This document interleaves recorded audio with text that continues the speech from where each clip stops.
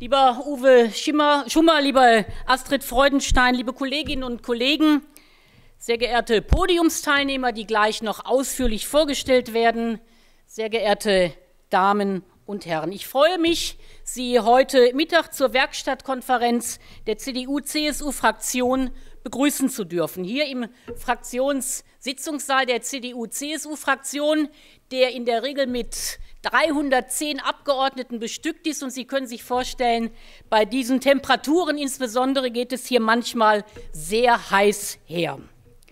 Ziel unserer Fraktion ist es, eine inklusive Gesellschaft im Sinne der UN-Behindertenrechtskonvention zu verwirklichen. Und welchen Beitrag die Werkstätten für behinderte Menschen dabei leisten können, werden wir heute mit vielen Experten beraten. Ein wichtiger Meilenstein zu dieser inklusiven Gesellschaft ist das neue Bundesteilhabegesetz. Dieses neue Gesetz bedeutet auch grundlegende Veränderungen für die rund 300.000 Beschäftigten in den Werkstätten und für die Träger. Das Teilhabegesetz soll sich positiv auf das Wohlergehen und das Selbstvertrauen der Beschäftigten auswirken. Eine inklusive Gesellschaft bedeutet die größtmögliche Teilhabe behinderter Menschen am gesellschaftlichen Leben. Mehr Teilhabe am gesellschaftlichen Leben bedeutet aber auch mehr Teilhabe an Arbeit. Denn Arbeit ist mehr als der reine Broterwerb. Das Gefühl, erwerbstätig und produktiv zu sein, gebraucht zu werden, ist wichtig für Menschen mit und ohne Behinderung. Und mehr Teilhabe an Arbeit bedeutet dann auch für uns Politiker die Verpflichtung, den Menschen mit Behinderung den Zugang zum ersten Arbeitsmarkt zu erleichtern. Und dafür haben wir mit dem Bundesteilhabegesetz das Budget für Arbeit eingeführt. Also zielgerichtete und passgenaue Lösungen für nach Möglichkeit jeden Einzelnen zu finden. Und das ist und sollte unser Anspruch sein, der sich auch aus unserem Menschenbild ableitet. Die Bedürfnisse und Fähigkeiten eines jeden Einzelnen sollten bei der Frage nach dem passenden Betätigungsfeld berücksichtigt werden. Für den einen ist die Arbeit in einer Integrationsfirma genau das Richtige. Wir wollen aber auch diejenigen unterstützen, die ihre berufliche Erfüllung eben auf dem ersten Arbeitsmarkt suchen. Mehr Menschen sollen also befähigt werden, auf dem ersten Arbeitsmarkt Fuß zu fassen und dort bei körperlichem und seelischem Wohlergehen eine gute Perspektive für sich zu finden. Ja, und dann gibt es natürlich Menschen, deren Fähigkeiten und Leistungen in einer Werkstatt am besten zur Geltung kommen. Und der Beitrag der Werkstätten für Menschen mit Behinderung ist von großer gesellschaftlicher Bedeutung. In den Werkstätten wird den Menschen mit Behinderung ein gutes und erfülltes Arbeitsleben in einem geordneten und geschützten Umfeld ermöglicht. Hier finden Sie eine gute Perspektive. Und daher danke ich allen von Herzen, die hierzu ihren wichtigen Beitrag leisten. Unser Ziel also, dass zukünftig mehr Menschen auf den ersten Arbeitsmarkt eine erfüllende und eine ihren Bedürfnissen gerecht werdende Betätigung finden sollen, stellt nämlich auch gerade die Werkstätten vor neue Herausforderungen. Sie müssen sich weiterentwickeln und neue Perspektiven für ihre Beschäftigten finden. Wir wollen alle gemeinsam, gemeinsam mit Ihnen, aber auch mit der nötigen Sorgfalt und Behutsamkeit den Weg zu einer inklusiven Gesellschaft ebnen. Und dabei müssen der Einzelne und seine Bedürfnisse im Mittelpunkt unserer Bemühungen stehen. Und in diesem Sinne wünsche ich uns allen eine fruchtbare und intensive Diskussion mit guten Ergebnissen. Herzlichen Dank.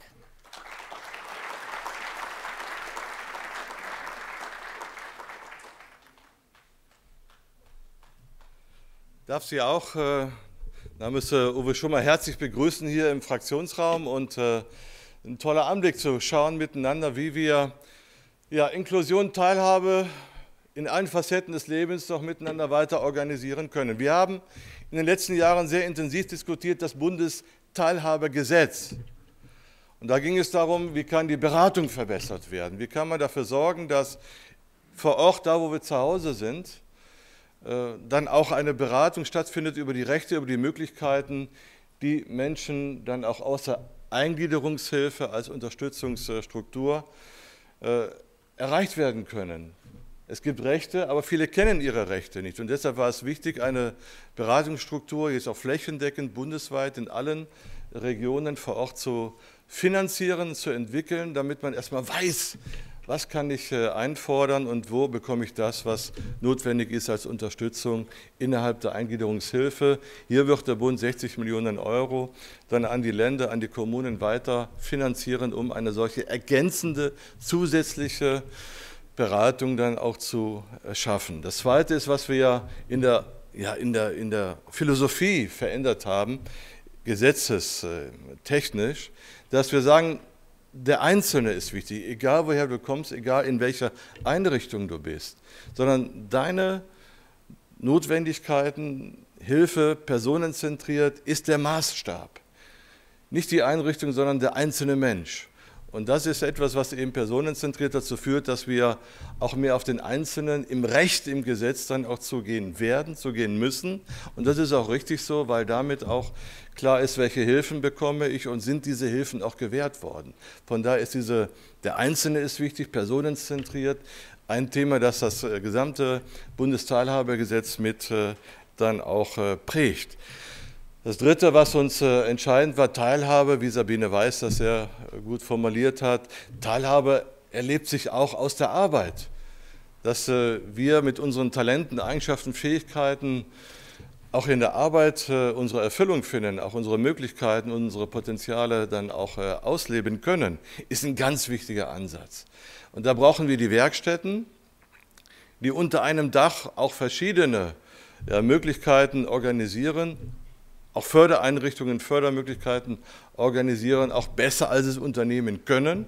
Weil wo hat man denn beispielsweise Holz, Metall, Hauswirtschaft, soziale Dienste unter einem Dach so organisiert, dass man auch alle Berufsbereiche mal durchlaufen kann und dort auch mal wechseln kann in der Förderung. Aber dann ist es eben auch wichtig, so unterschiedlich wie wir Menschen sind, dass natürlich auch die Teilhabemöglichkeiten in der Arbeitswelt unterschiedlich sein müssen. Da ist Vielfalt auch das, was äh, von Menschen ausgeht, auch Vielfalt im Arbeitsprozess, in der Teilhabe zu entwickeln. Und dann sehen wir eben spannend auch die Möglichkeit, aus Werkstätten Integrationsfirmen zu gründen. Und es gibt tolle Integrationsfirmen, 850 bundesweit, hier in Berlin eine wunderbare Brauerei, die auch Altbier von Niederrhein hier in Berlin herstellt. Es gibt einen Weinberg in Rheinland-Pfalz, es gibt Hotels, es gibt äh, Druckereien, also alles, was es in der Wirtschaft, in den Unternehmen auf dem ersten Arbeitsmarkt gibt, gibt es auch bei den 850 Integrationsfirmen, die aus Werkstätten sich oftmals entwickelt haben. Und wir wollen eben schauen, die sind dann auf dem ersten Arbeitsmarkt. Aber der Vorteil ist eben auch, weil es Sozialbetriebe sind, dass beispielsweise auch die Frage nach 20 Jahren Erwerbsunfähigkeitsrente zu bekommen, was in der Werkstatt ja dann auch möglich ist, das kann man in die Integrationsfirmen mitnehmen. Das gibt man dann nicht auf. Auch das ist ein wichtiges Argument, wenn man sagt, okay, ich will mal den Sprung jetzt in ein solches Unternehmen auf dem ersten Arbeitsmarkt wagen, mich erproben und dann entscheiden, zurück in die Werkstatt oder ich bleibe bei den Integrationsunternehmen, was auch immer, dass man keine Verluste hat in der sozialen Absicherung. Und dass man auch immer wieder diese Durchlässigkeit, dieses, äh, dieses äh, das Miteinander dann auch von Werkstätten und Integrations- oder Inklusionsunternehmen entwickelt. Dann habe ich also im Saarland festgestellt, also virtuelle Werkstätten, die sofort dann auch mit Unternehmen zusammenarbeiten, dort die, das äh, Coaching, die Begleitung und das die Vorbereitung in die Betriebe verlagert haben, also virtuelle Werkstätten, keine physische, die gebaut ist, sondern man hat im Grunde die Werkstattleistungen, die Begleitung, die Unterstützung in die Betriebe hinein verlagert. Auch das finde ich ein spannendes Modell das wir dann auch gerne weitergeben wollen, bis hin zum Budget für Arbeit, das wir jetzt äh, mit dem Bundesteilhabegesetz entwickelt haben.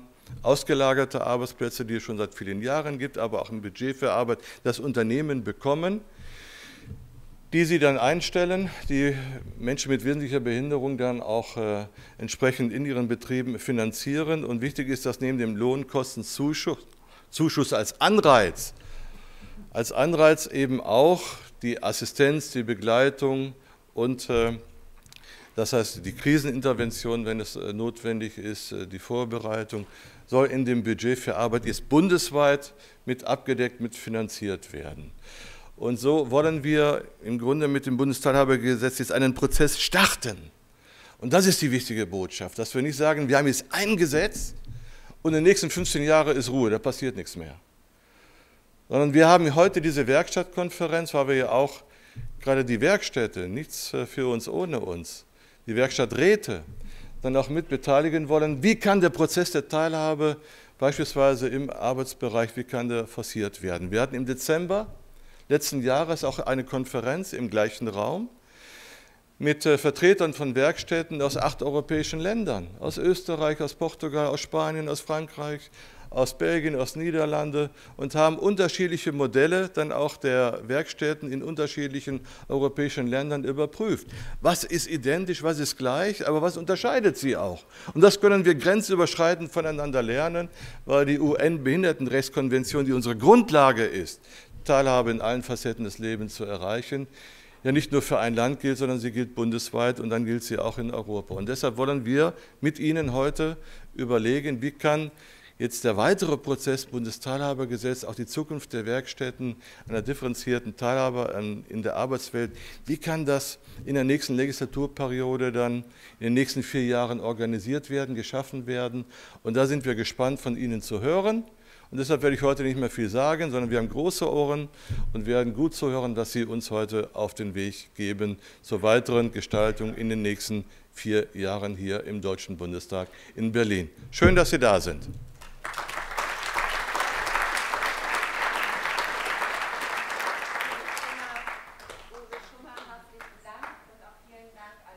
Sabine Weiß, ich sage es jetzt gleich nochmal. Uwe Schummer, herzlichen Dank und auch vielen Dank an Sabine Weiß.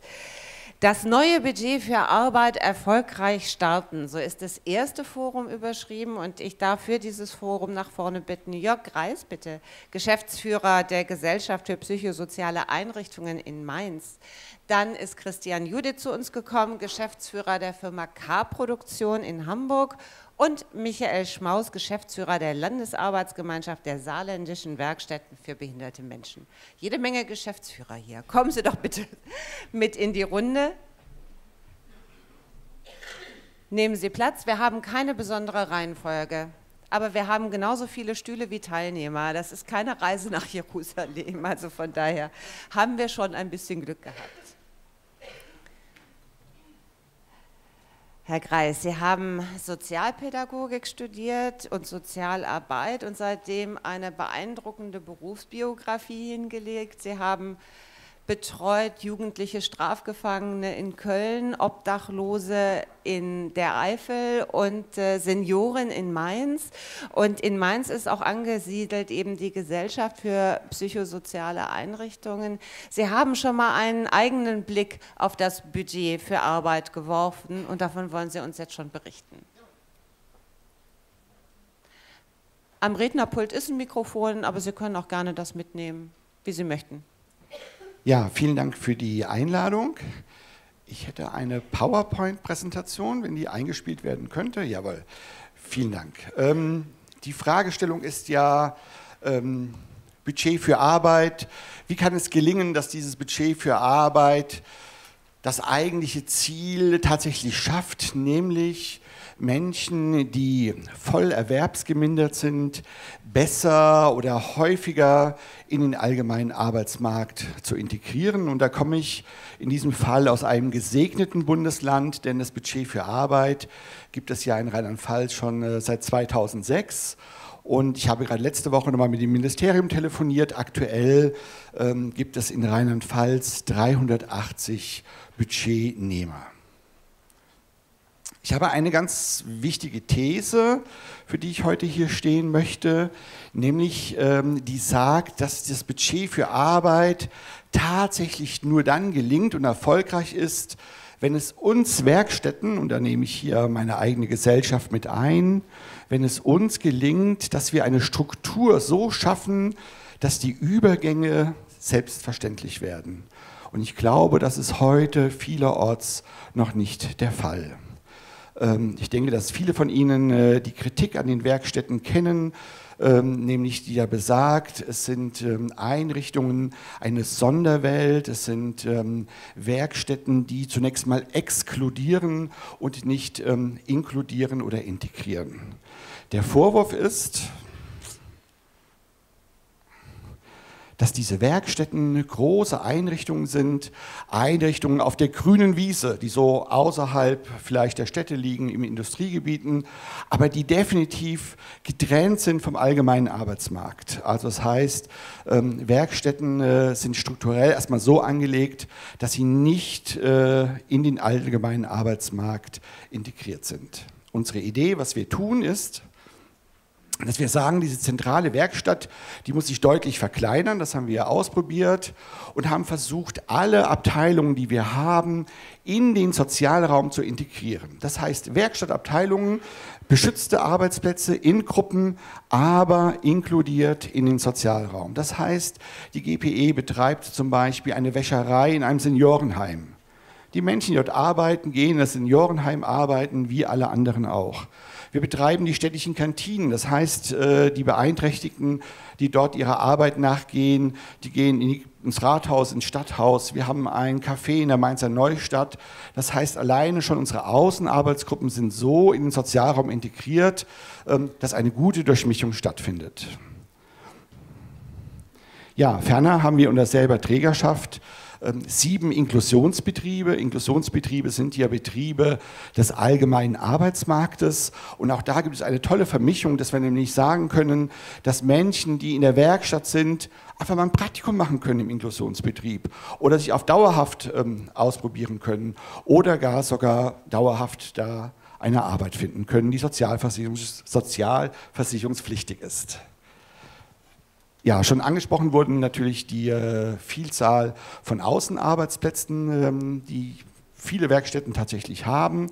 Und was ich Ihnen gerne zeigen möchte, ist das System, die Struktur, so wie ich glaube, dass sie sinnvoll ist und wo Budget für Arbeit auch tatsächlich äh, sinnvoll oder, oder nützlich ist, eine gute Hilfestellung, dass wir eine Struktur haben, die durchlässig ist, die Werkstatt durchlässig in alle Bereiche, in den Inklusionsbetrieb, in die Außenstellen, auf Außenarbeitsplätzen und auf Betriebe des allgemeinen Arbeitsmarktes. Ich glaube, das ist ein Beitrag, ähm, den die Werkstätten leisten können. Es wird nochmal ganz deutlich am Beispiel Bildung, das sind nur zwei Fragen. Wo sind denn Orte der beruflichen Bildung? Ähm, sind sie exklusiv in der Werkstatt oder gibt es nicht die Möglichkeit, dass Menschen in der beruflichen Bildung auch die Berufsschule besuchen? Die Kollegen in Stuttgart machen das zum Beispiel so. Oder warum kann berufliche Bildung nicht auch in Volkshochschulen stattfinden? Ähm, oder warum öffnen wir Werkstätten nicht unsere arbeitsbegleitende Angebote ähm, für die Allgemeinheit? Meine These, das neue Budget für Arbeit ist dann nachhaltig erfolgreich, wenn es den Werkstätten gelingt, Strukturen so zu schaffen, dass Übergänge verständlich werden. Ja, vielen Dank erstmal. Vielen Dank, Herr Greis. Christian Judith ist wie Jörg Reis Sozialpädagoge, Sozialarbeiter. Seine Firma K-Produktion berät und schult Unternehmen und Organisationen in Sachen Barrierefreiheit. Er ist aber auch Tänzer mit Auftritten im In- und Ausland und bietet zusammen mit seiner Partnerin Silke Hüttel inklusive Tanzworkshops an. Wenn man ein bisschen mit dem Begriff spielen möchte, Budget für Arbeit, dann könnte man den Eindruck bekommen, dass sie sich ihr eigenes Budget für Arbeit gestaltet haben.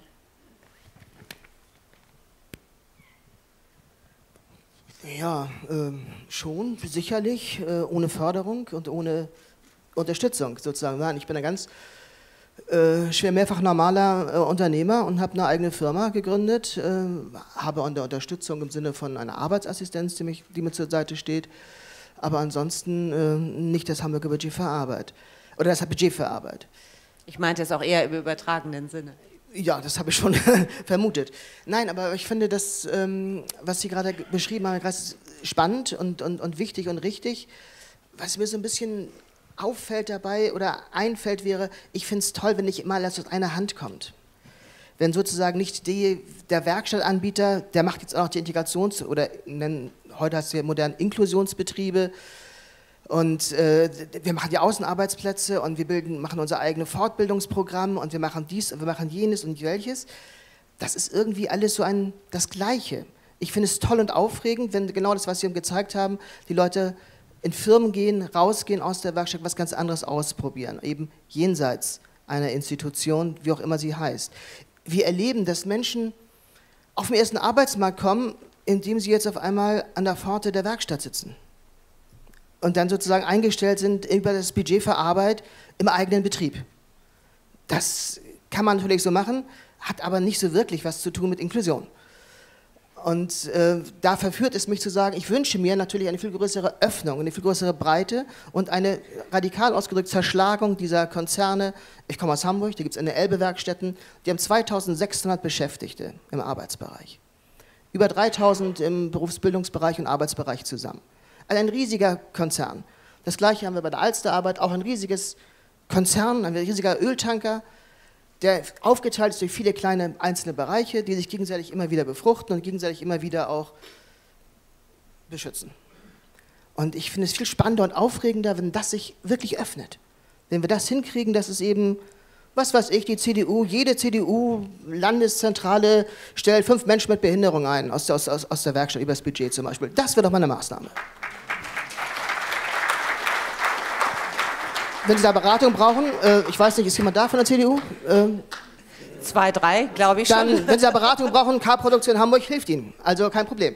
Gut, aber Sie haben bestimmt eine ganz andere Frage an mich, richtig? Nö, also ich habe die Frage gestellt, die ich fragen wollte. Aber Stichwort Öffnung ist ein gutes, ähm, was ich mitnehmen möchte in die Vorstellung von Michael Schmaus, Soziologe und Politikwissenschaftler. Aber er hat auch was Vernünftiges gelernt, nämlich Kaufmann im Groß- und Außenhandel. Sie schauen auch über den deutschen Tellerrand, nämlich im in der Koordination des Straßburger Kreises, das ist das Europäische Sozialforum. Ähm, gibt es da schon eine Diskussion über das Budget für Arbeit, eine Reaktion der europäischen Kolleginnen und Kollegen? Nein, also im europäischen Kontext haben wir das in der Form noch nicht diskutiert, weil auch ähm, ja, ein ähnliches Konzept ähm, es ist immer schwierig, diese, diese Modelle der Werkstätten und die Modelle der, der, der Integration und der Inklusion äh, europäisch zu vergleichen. Also das haben wir nicht diskutiert, weil es ist auch noch sehr neu. Wie fällt denn so Ihre, Ihr Blick auf das Budget für Arbeit aus? Ja, mache ich einen ganz kurzen Vortrag mit ein paar Stichworten dazu. Mehr Chancen durch das neue Budget für Arbeit. Das habe ich mit einem Fragezeichen und einem, Aufru und einem Ausrufezeichen versehen, hier auf meinem Manuskript. Ähm, ich möchte das auch klar betonen, dieses Fragezeichen, mehr Erfolg oder nicht mehr Erfolg und trotzdem ein Ausrufezeichen setzen, weil ich der Meinung bin, ja, es bringt mehr Erfolg. Ist das alles neu, Budget für Arbeit? Nein, das ist nicht gänzlich neu und nicht überall in der Republik. Es gab oder es gibt Beispiele quer durchs Land, ähm, wo Menschen, die in einer Werkstatt arbeiten, auf den allgemeinen Arbeitsmarkt integriert wurden mit diversen Sonderprogrammen der Länder, der BA und solchen Geschichten und der örtlichen Kostenträger. Ja, und es ist neu, es ist sehr neu, da es erstmals für ganz Deutschland eine Regelung, eine finanzielle Regelung gibt, um Menschen, die normalerweise in einer Werkstatt arbeiten dürfen, eine Finanzierung äh, ihres Lohnes auf dem allgemeinen Arbeitsmarkt zu ermöglichen.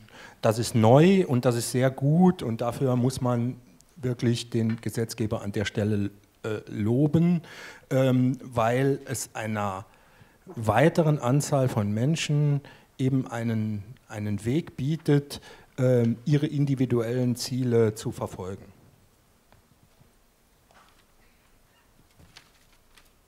Was braucht das neue Budget, um erfolgreich zu starten?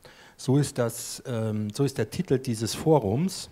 Und ähm, ich möchte das ein bisschen, die Erwartung an das Budget für Arbeit ein bisschen relativieren und vielleicht ein bisschen versuchen einzuordnen. Wir sollten die Erwartungen das Budget für Arbeit nicht an Zahlen festmachen wenn wir sagen, ja, wir wollen 10.000 Menschen, die durch das Budget für Arbeit, ich mache ein Beispiel, auf den allgemeinen Arbeitsmarkt wechseln, dann ist es ein Misserfolg, wenn es nur 8.000 werden. Wenn wir das Budget für Arbeit als individuelle Maßnahme begreifen, die Menschen eine, eine Möglichkeit eröffnet, auf ihre, äh, ihre persönlichen Ziele zu erreichen, individuell ihren Arbeitsplatz zu finden, dann wird es ein Erfolg sein, auch wenn es nur wenige sein werden. Ich erwarte nicht durch das Budget für Arbeit, das muss ich klar sagen, dass sich die Werkstätten leeren. Das erwarte ich nicht. Ich erwarte, dass es mehr Vermittlungen geben wird als bisher, da ähm, Menschen künftig eine dauerhafte Förderung ihrer Arbeit auf dem allgemeinen Arbeitsmarkt erreichen können, was bisher durch die zahlreichen Programme, die es in der ganzen Republik gab, nicht möglich war. Und das sehe ich als wichtigen Fortschritt. Ähm, wie starten wir erfolgreich? Ja, wir starten dann erfolgreich, wenn wir, wenn wir als Werkstätten, wenn wir als Werkstätten begreifen, dass jede Vermittlung auf den Arbeitsmarkt mit dem Budget ein Erfolg auch für die Werkstatt ist. Es ist ein Erfolg für den Menschen und es ist ein Erfolg für die, für die Werkstatt. Ich denke, in vielen Werkstätten wird das bereits so gesehen, aber längst nicht in allen. Ähm, es gilt auch ein Stück weit Beton in den Köpfen zu beseitigen mit dem neuen BTHG. Und ähm, ich denke, das wird sich auch ein Stück weit durchsetzen lassen. Durch das Budget für Arbeit, wenn ein Mensch aus einer Werkstatt wechselt und dauerhaft auf dem Arbeitsmarkt bleibt, durch das Budget, dann ist es auch ein Erfolg der Werkstatt. Und das sehe ich ähm, als wichtigen Punkt. An der Stelle möchte ich dann auch jetzt enden, äh, weil es sonst zu lang wird. Ich habe hier noch ein bisschen mehr aufgeschrieben. Sie, Sie, werden wahrscheinlich noch Gelegenheit haben, den einen oder anderen Punkt zu setzen an dieser Stelle. Ähm, ich möchte das Wort jetzt erst noch mal weitergeben an Martin Berg, Vorsitzender der Bundesarbeitsgemeinschaft der Werkstätten für behinderte Menschen. Erstmal auch Ihnen herzlich willkommen. Bei dem, was hier jetzt in der Runde schon gesagt worden ist, was ist Ihr Eindruck? Ist bestimmt gleich an. Sonst nehmen Sie meinen. Ja, ich glaube, es geht ja um die Frage, welche Chancen hat das Budget für Arbeit. Im Moment sind wir noch so ein bisschen am, am Kreisen, um welche Themen geht. Der Kollege aus Hamburg hat gesagt, ähm, an dem Beispiel der Hamburger Werkstatt ist, ist die größte Werkstatt in Deutschland, das ist klar. Es gibt nicht eine zweite, die so groß ist und die Struktur in Deutschland ist durchaus anders, als Sie das jetzt in Hamburg erleben.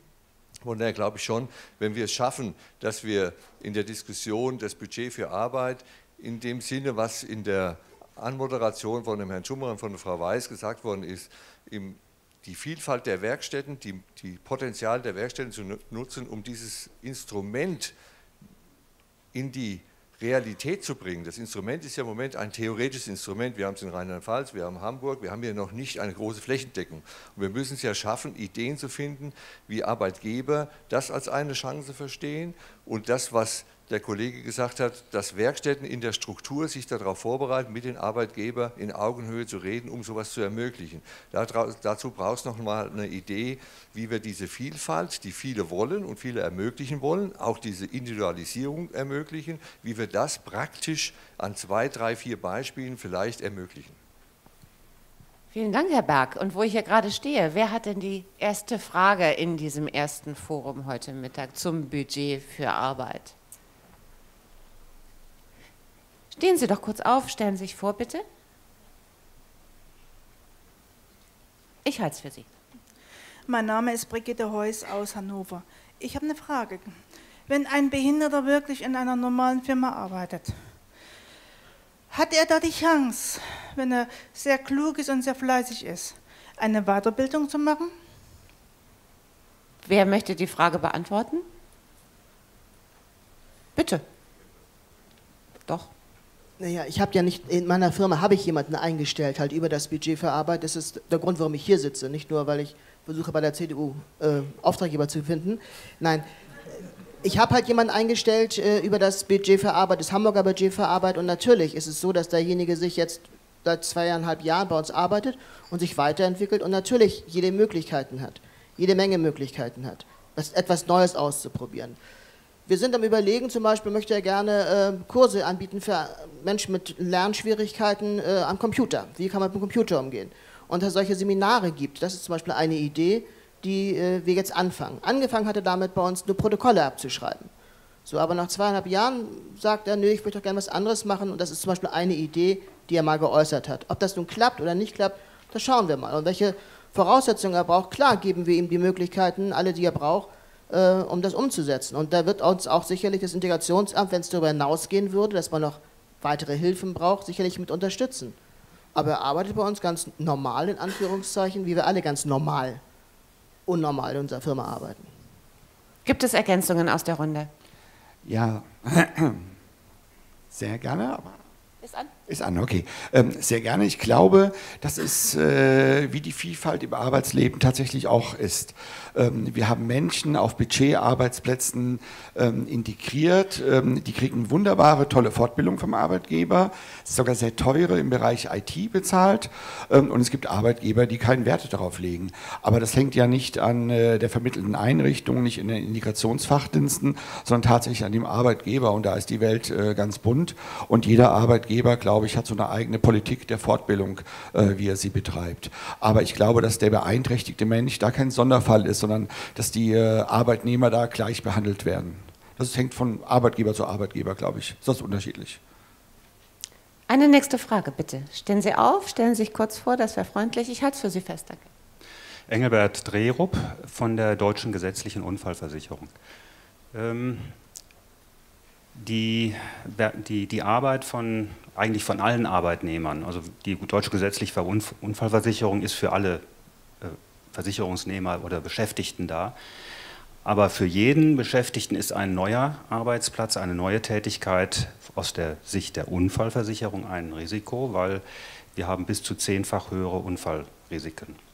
Es muss also eine gute Einarbeitung in die Unfall, in die neue Tätigkeit gehören und ganz besonders für Menschen mit Behinderung. Ich bin selber Vater von einer Tochter mit Trisomie 21. Ich weiß, wie lange es braucht, um sie nur zu erklären, wie äh, man die Schuhe zubindet. Ähm, und von daher äh, einfach mal zu sagen, ja, wir machen jetzt, wir haben endlich mal ein Modell, was funktioniert, nämlich Werkstätten für Behinderte, aus unserer Sicht, aus der Sicht der Unfallversicherung. Und jetzt, auch jetzt probieren wir mal was anderes aus das kann gut gehen, wenn wirklich auch dafür gesorgt wird, dass die Menschen, die neue Tätigkeiten machen, dafür auch ja, dafür völlig qualifiziert sind. Darum geht es. Vielen Dank dafür. Wie sieht es aus mit dem Punkt der Einarbeitung? Ja, jetzt ist, es, jetzt ist eine spannende Frage aufgetreten. Ähm, was den Werkstätten im Grunde oft vorgeworfen wird, dass sie den Übergang auf den Arbeitsmarkt verhindern. Also ich habe ich hab ja wirklich mal was Anständiges gemacht. Bevor ich Geschäftsführer der LAG war, habe ich tatsächlich Werkstattbeschäftigte auf den allgemeinen Arbeitsmarkt vermittelt. Und ähm, das, das Thema, ähm, dass Eltern, oftmals Eltern, das sehr, sehr kritisch begleitet haben, äh, kenne ich sehr gut noch aus dieser, aus, die, aus dieser Zeit heraus. Ähm, also ich habe sehr, ich habe agiert äh, am Interesse des Menschen. Und wenn des Menschen mit Behinderung, nicht unbedingt am Interesse der Eltern, muss ich klar so sagen an der Stelle, sondern ich habe ähm, als Praktiker äh, so gehandelt, dass ich mit den Menschen gesprochen habe, was willst du, was kannst du machen, mit dem Betrieb gesprochen habe. Und wenn das gepasst hat, dann haben wir das einfach versucht mit der Integration auf dem allgemeinen Arbeitsmarkt. Und ich muss sagen, wenn, wenn die Leute das wirklich wollten, äh, die ehemaligen Werkstattbeschäftigten, dann hat es letztlich auch funktioniert, auch bei kritischen Blicken der Eltern. Die Sichtweise der Unfallversicherung, äh, so weit bin ich nie gegangen in meiner praktischen Tätigkeit, dass ich mir jetzt auch noch äh, diese Dinge äh, mitgenommen habe, weil ich denke, man muss jetzt natürlich nicht sehr gefährliche Arbeit, sowas natürlich nicht gemeint, aber ich denke, man muss auch, wenn jemand den Überblick, äh, den, den Übergang auf den allgemeinen Arbeitsmarkt will, äh, dann gehört bei einem behinderten Menschen genauso ein gewisses Risiko dazu wie bei einem nicht behinderten Menschen. Herr Judith? Ja, das ist ein, mutet mir ein bisschen merkwürdig an. Also diese, Ihre Formulierung oder Ihr, Ihr Ansatz, Äh, was passiert denn mit demjenigen, der Liebeskummer hat und Schreiner ist und an der, an der Kreissäge am nächsten Tag steht? Was passiert denn mit dem Drogenabhängigen, der auf einmal drogenabhängig geworden ist? Wollen wir jetzt für alle diese Menschen sagen, nee, so richtig auf dem ersten Arbeitsmarkt und ungeschützt, du musst eine bessere Vorbereitung haben und eine bessere Sache? Ich finde, Sie haben es am Anfang gesagt, ich bin Tänzer. Wenn wir ein Tanzprojekt machen, dann lassen wir erstmal alles zu und wir probieren es aus. Und die Verantwortung übergeben wir ganz viel den Menschen mit Behinderung. Wir werden nicht die Tür abschließen und sagen, ihr müsst alle drin bleiben. All das machen wir nicht, sondern wir lassen natürlich alle Menschen das machen, was sie machen können. Und wir ermutigen sie, ihre Verantwortung zu übernehmen. Das ist ja gerade das Problem in Einrichtungen, dass die Menschen sozusagen entmündigt worden sind durch Einrichtung. Da ist es ziemlich egal, komme ich zu meiner Arbeit oder nicht. Da jault keiner. Wenn, ich, wenn wir am Werkstattrat, ich begleite auch Werkstatträte in Hamburg, wenn wir bei den Gruppensprechersitzungen nachfragen, was habt ihr gelernt oder was habt ihr verarbeiten, dann heißt es manchmal, wir haben keine Arbeit, wir puzzeln, wir spielen Spiele. Da wird nicht aber zum Beispiel Empowerment ausprobiert oder da wird nicht zum Beispiel geschult, dass Leute selber stark und bewusst werden. Da wird nicht gesagt, jetzt machen wir, heute haben wir nichts zu tun, heute machen wir mal äh, Straßenbahn und U-Bahn, ne, Straßenbahn gibt es ja gar nicht in Hamburg, aber U-Bahn-Training in Hamburg oder so etwas in der Art. Ich glaube, dass da viel mehr möglich ist und ich glaube, haben Sie keine Angst davor? Also haben Sie keine Angst davor, die Menschen mit Behinderung so zu behandeln wie alle anderen ganz normal auch und ihnen die Chance zu geben, sich auszuprobieren. Und Scheitern gehört mit dazu. Und ich finde es sehr fatal, diesen äh, Sicherheitsanspruch, das ist genau das Argument, das Totschlagargument bis dato gewesen, Menschen nicht nach draußen zu lassen. Also. Eine, eine kurze Inter Intervention. Ja, ich, wir wissen, dass die Zahl der Unfälle durch Gewalt und Aggression äh, bei, in Einrichtungen für Menschen mit, Einri mit, mit Behinderung einfach aus dem Grunde groß sind, weil äh, die Kommunikation schwierig ist. Ähm, weil eben es gibt Menschen, die mit Behinderung, die können nicht sprechen oder die können sich schle nicht schlecht, nicht so gut ausdrücken. Und äh, das Sie möchten aber sich äußern. Und wenn man sich über Sprache nicht äußern kann, kann es äh, zu Gefährdungen kommen. Wir wissen, dass diese Unfälle sehr häufig sind, gerade in Werkstätten für Behinderte. Das ist, ähm, ja, und von daher kann ich nur einfordern, dass wenn eben in andere Einrichtungen äh, gefördert wird, dies auch so passiert, dass die Menschen gut begleitet werden. Ein Stück mehr Sorgfalt, Herr Greis. Und dann würde ich gerne noch die nächste Frage anknüpfen. Also ich bin ganz, ist an? Ja, ja ich bin ganz gut. bei Ihnen. Also ich finde, dass äh, die Anmerkung ist vollkommen korrekt. Ähm, ich glaube, dass die Integrationsarbeit ist eine, wirklich eine ganz sorgfältige Arbeit und die Menschen werden auf die Arbeitsplätze wirklich gut eingestimmt und eingewöhnt. Bei uns sogar tatsächlich so, dass die Fachkraft für Arbeitssicherheit geht an den neuen Außenarbeitsplatz oder an den Arbeitsplatz, schaut sich ihn an, macht die Gefährdungsanalyse und und und. Das heißt, äh, hier wird keiner einfach mal so ganz schnell integriert äh, auf den allgemeinen Arbeitsmarkt, weil es gerade Lust und Laune ist, sondern es ist wohl überlegt, gut geplant, die Menschen sind gut vorbereitet oder aber als Alternative, die es auch gibt, sie werden dann mit dem Sozialpädagogen vor Ort eingearbeitet. Das heißt, es ist ja eine, eine, ein Modell der unterstützten Beschäftigung, dass der Jobcoach mit demjenigen äh, an den Arbeitsplatz geht und dort vor Ort eine Einarbeitung vornimmt. Also das Thema Arbeitssicherheit kann ich voll unterschreiben. Das ist ein ganz, ganz wichtiges, das darf man nicht vernachlässigen, aber es ist auch relativ einfach, es äh, zu betrachten. Ähm, auch Menschen in der Werkstatt selbst das sind Gefahren ausgesetzt, in den Großküchen, in den Schreiner- und Metallwerkstätten. Also eigentlich nichts Besonderes und ich glaube, die Werkstätten ähm, wissen darauf zu reagieren. Wollen Sie sich kurz vorstellen? Ja. Ich halte es fest für Sie. Dankeschön. Also ich bin Professor Antac in Naturwissenschaftler und dabei islamischer Pädagoge. Und ich kenne einige türkische Jugendliche, die hier geboren sind, sind weder türkisch noch deutsch, können sie, weil sie behindert sind, auch körperlich behindert sind. Ich wollte mal fragen, ob Sie für solche ausländische Kinder, türkische Kinder oder andere, die nicht deutschmächtig sind und nicht deutsch können, auch für sie extra Kurse gibt, damit sie auch diese Ausbildung ausnutzen können extra Chancen für Menschen mit Migrationshintergrund und einem Handicap. Herr Schmaus? Ja, Gut, einer muss ja jetzt die Frage beantworten. Das ist natürlich eine relativ schwierige Frage. Ähm, ich sitze ja auch hier als, als Werkstattvertreter. Ich denke, dass ähm, innerhalb der, der Werkstätten äh, natürlich auch sehr, sehr viele Menschen mit Migrationshintergrund arbeiten. Ähm, das ist dann immer auch eine individuelle Frage, äh, wie gut dieser Mensch äh, die entsprechend oder Deutsch eben spricht und wie äh, die, die Situation in den Arbeitsgruppen ist. Also ich, äh, es ist so, dass, dass wenn, wenn mehrere Migranten in den, in den Arbeitsgruppen äh, aktiv sind, oftmals auch die, die, die, die Gruppenverantwortlichen ein Stück weit diese Sprache sprechen. Aber jetzt, dass es ähm, bei der Integration in den Arbeitsmarkt, und darum geht es ja beim, beim, äh, beim neuen Budget für Arbeit, dass man dann durchaus auch auf diese Fragen sehr stark äh, Rücksicht nehmen kann und ein, und ein Mensch äh, natürlich, der, der beispielsweise einen türkischen Migrationshintergrund hat, eben auch in, vielleicht in einem türkischen Unternehmen platzieren kann äh, und damit auch die Sprachbarriere ein Stück weit äh, relativiert. Die nächste Frage bitte von Ihnen. Ich halte es fest für Sie. Danke. Okay. Ja, Matthäus Miem aus Hessen, kleiner Werkstatt mit 160 Plätzen. Ich habe mal eine Frage. Wir haben ja jetzt schon den Sommer, bald geht es am 1.1. los an Herrn Schummer und Frau Weiß. Was sind denn jetzt die Überlegungen, was die Assistenz und diese Begleitung betrifft? Äh, ich glaube, dass das für Arbeitgeber eminent wichtig ist, dass die wissen, es geht jetzt nicht nur um Lohnförderung, sondern es geht auch um diese Assistenz, wird ja von Ihnen auch immer hervorgehoben, wie wichtig äh, das ist und dass die Politik das auch sieht.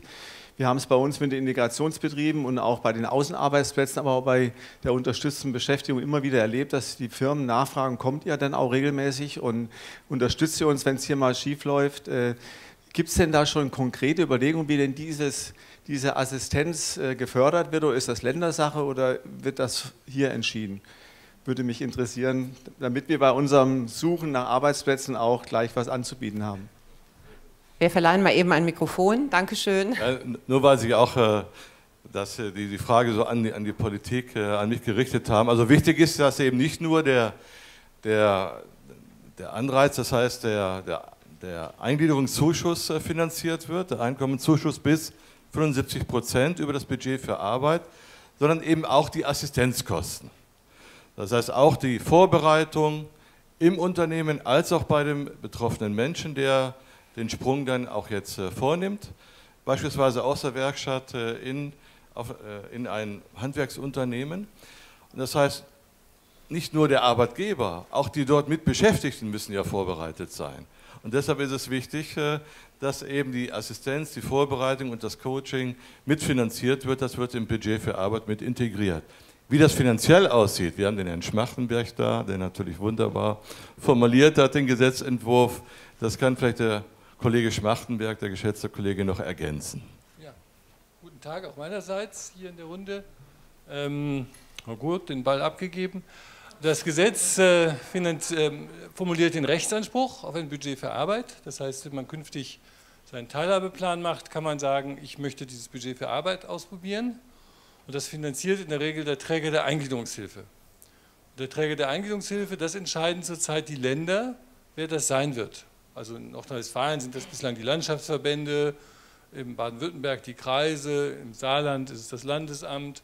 Das wird jetzt zurzeit von den Ländern entschieden und die machen dann die Ausführungsbestimmungen und die werden dann konkret, Herr Niem, Ihre Frage in Hessen, wahrscheinlich der Kommunalverband, aber ich glaube auch in Hessen wird das noch ein bisschen diskutiert zurzeit, ne? das wissen Sie besser als ich jetzt, zwischen Kommunen und Kommunalverband.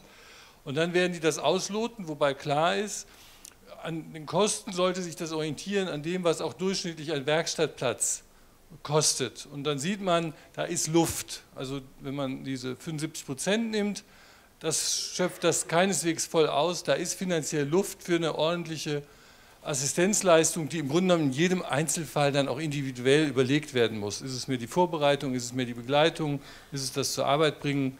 Das muss dann einzeln im Teilhabeplanverfahren äh, erörtert und bestimmt werden. Herr Schmaß. Ja, jetzt sind wir, glaube ich, an einer entscheidenden Frage angekommen, die das BTHG ohne, ohnehin an vielen Orten aufwerft, nämlich wie wird es umgesetzt. Ähm, ich möchte jetzt nur, was das äh, persönliche Budget einfach darauf hinweisen und Assistenzleistungen, dass es solche Assistenzleistungen in vielen Bundesländern auch schon gibt. Anders finanziert, durchaus Ausgleichsabgabemittel und so weiter. Also wir haben im Saarland Fachkräfte für betriebliche Integration, auch in Rheinland-Pfalz gibt es entsprechende Jobcoaches oder wie auch immer. Ich weiß das von Hessen, da gibt es auch Fachkräfte für betriebliche Integration.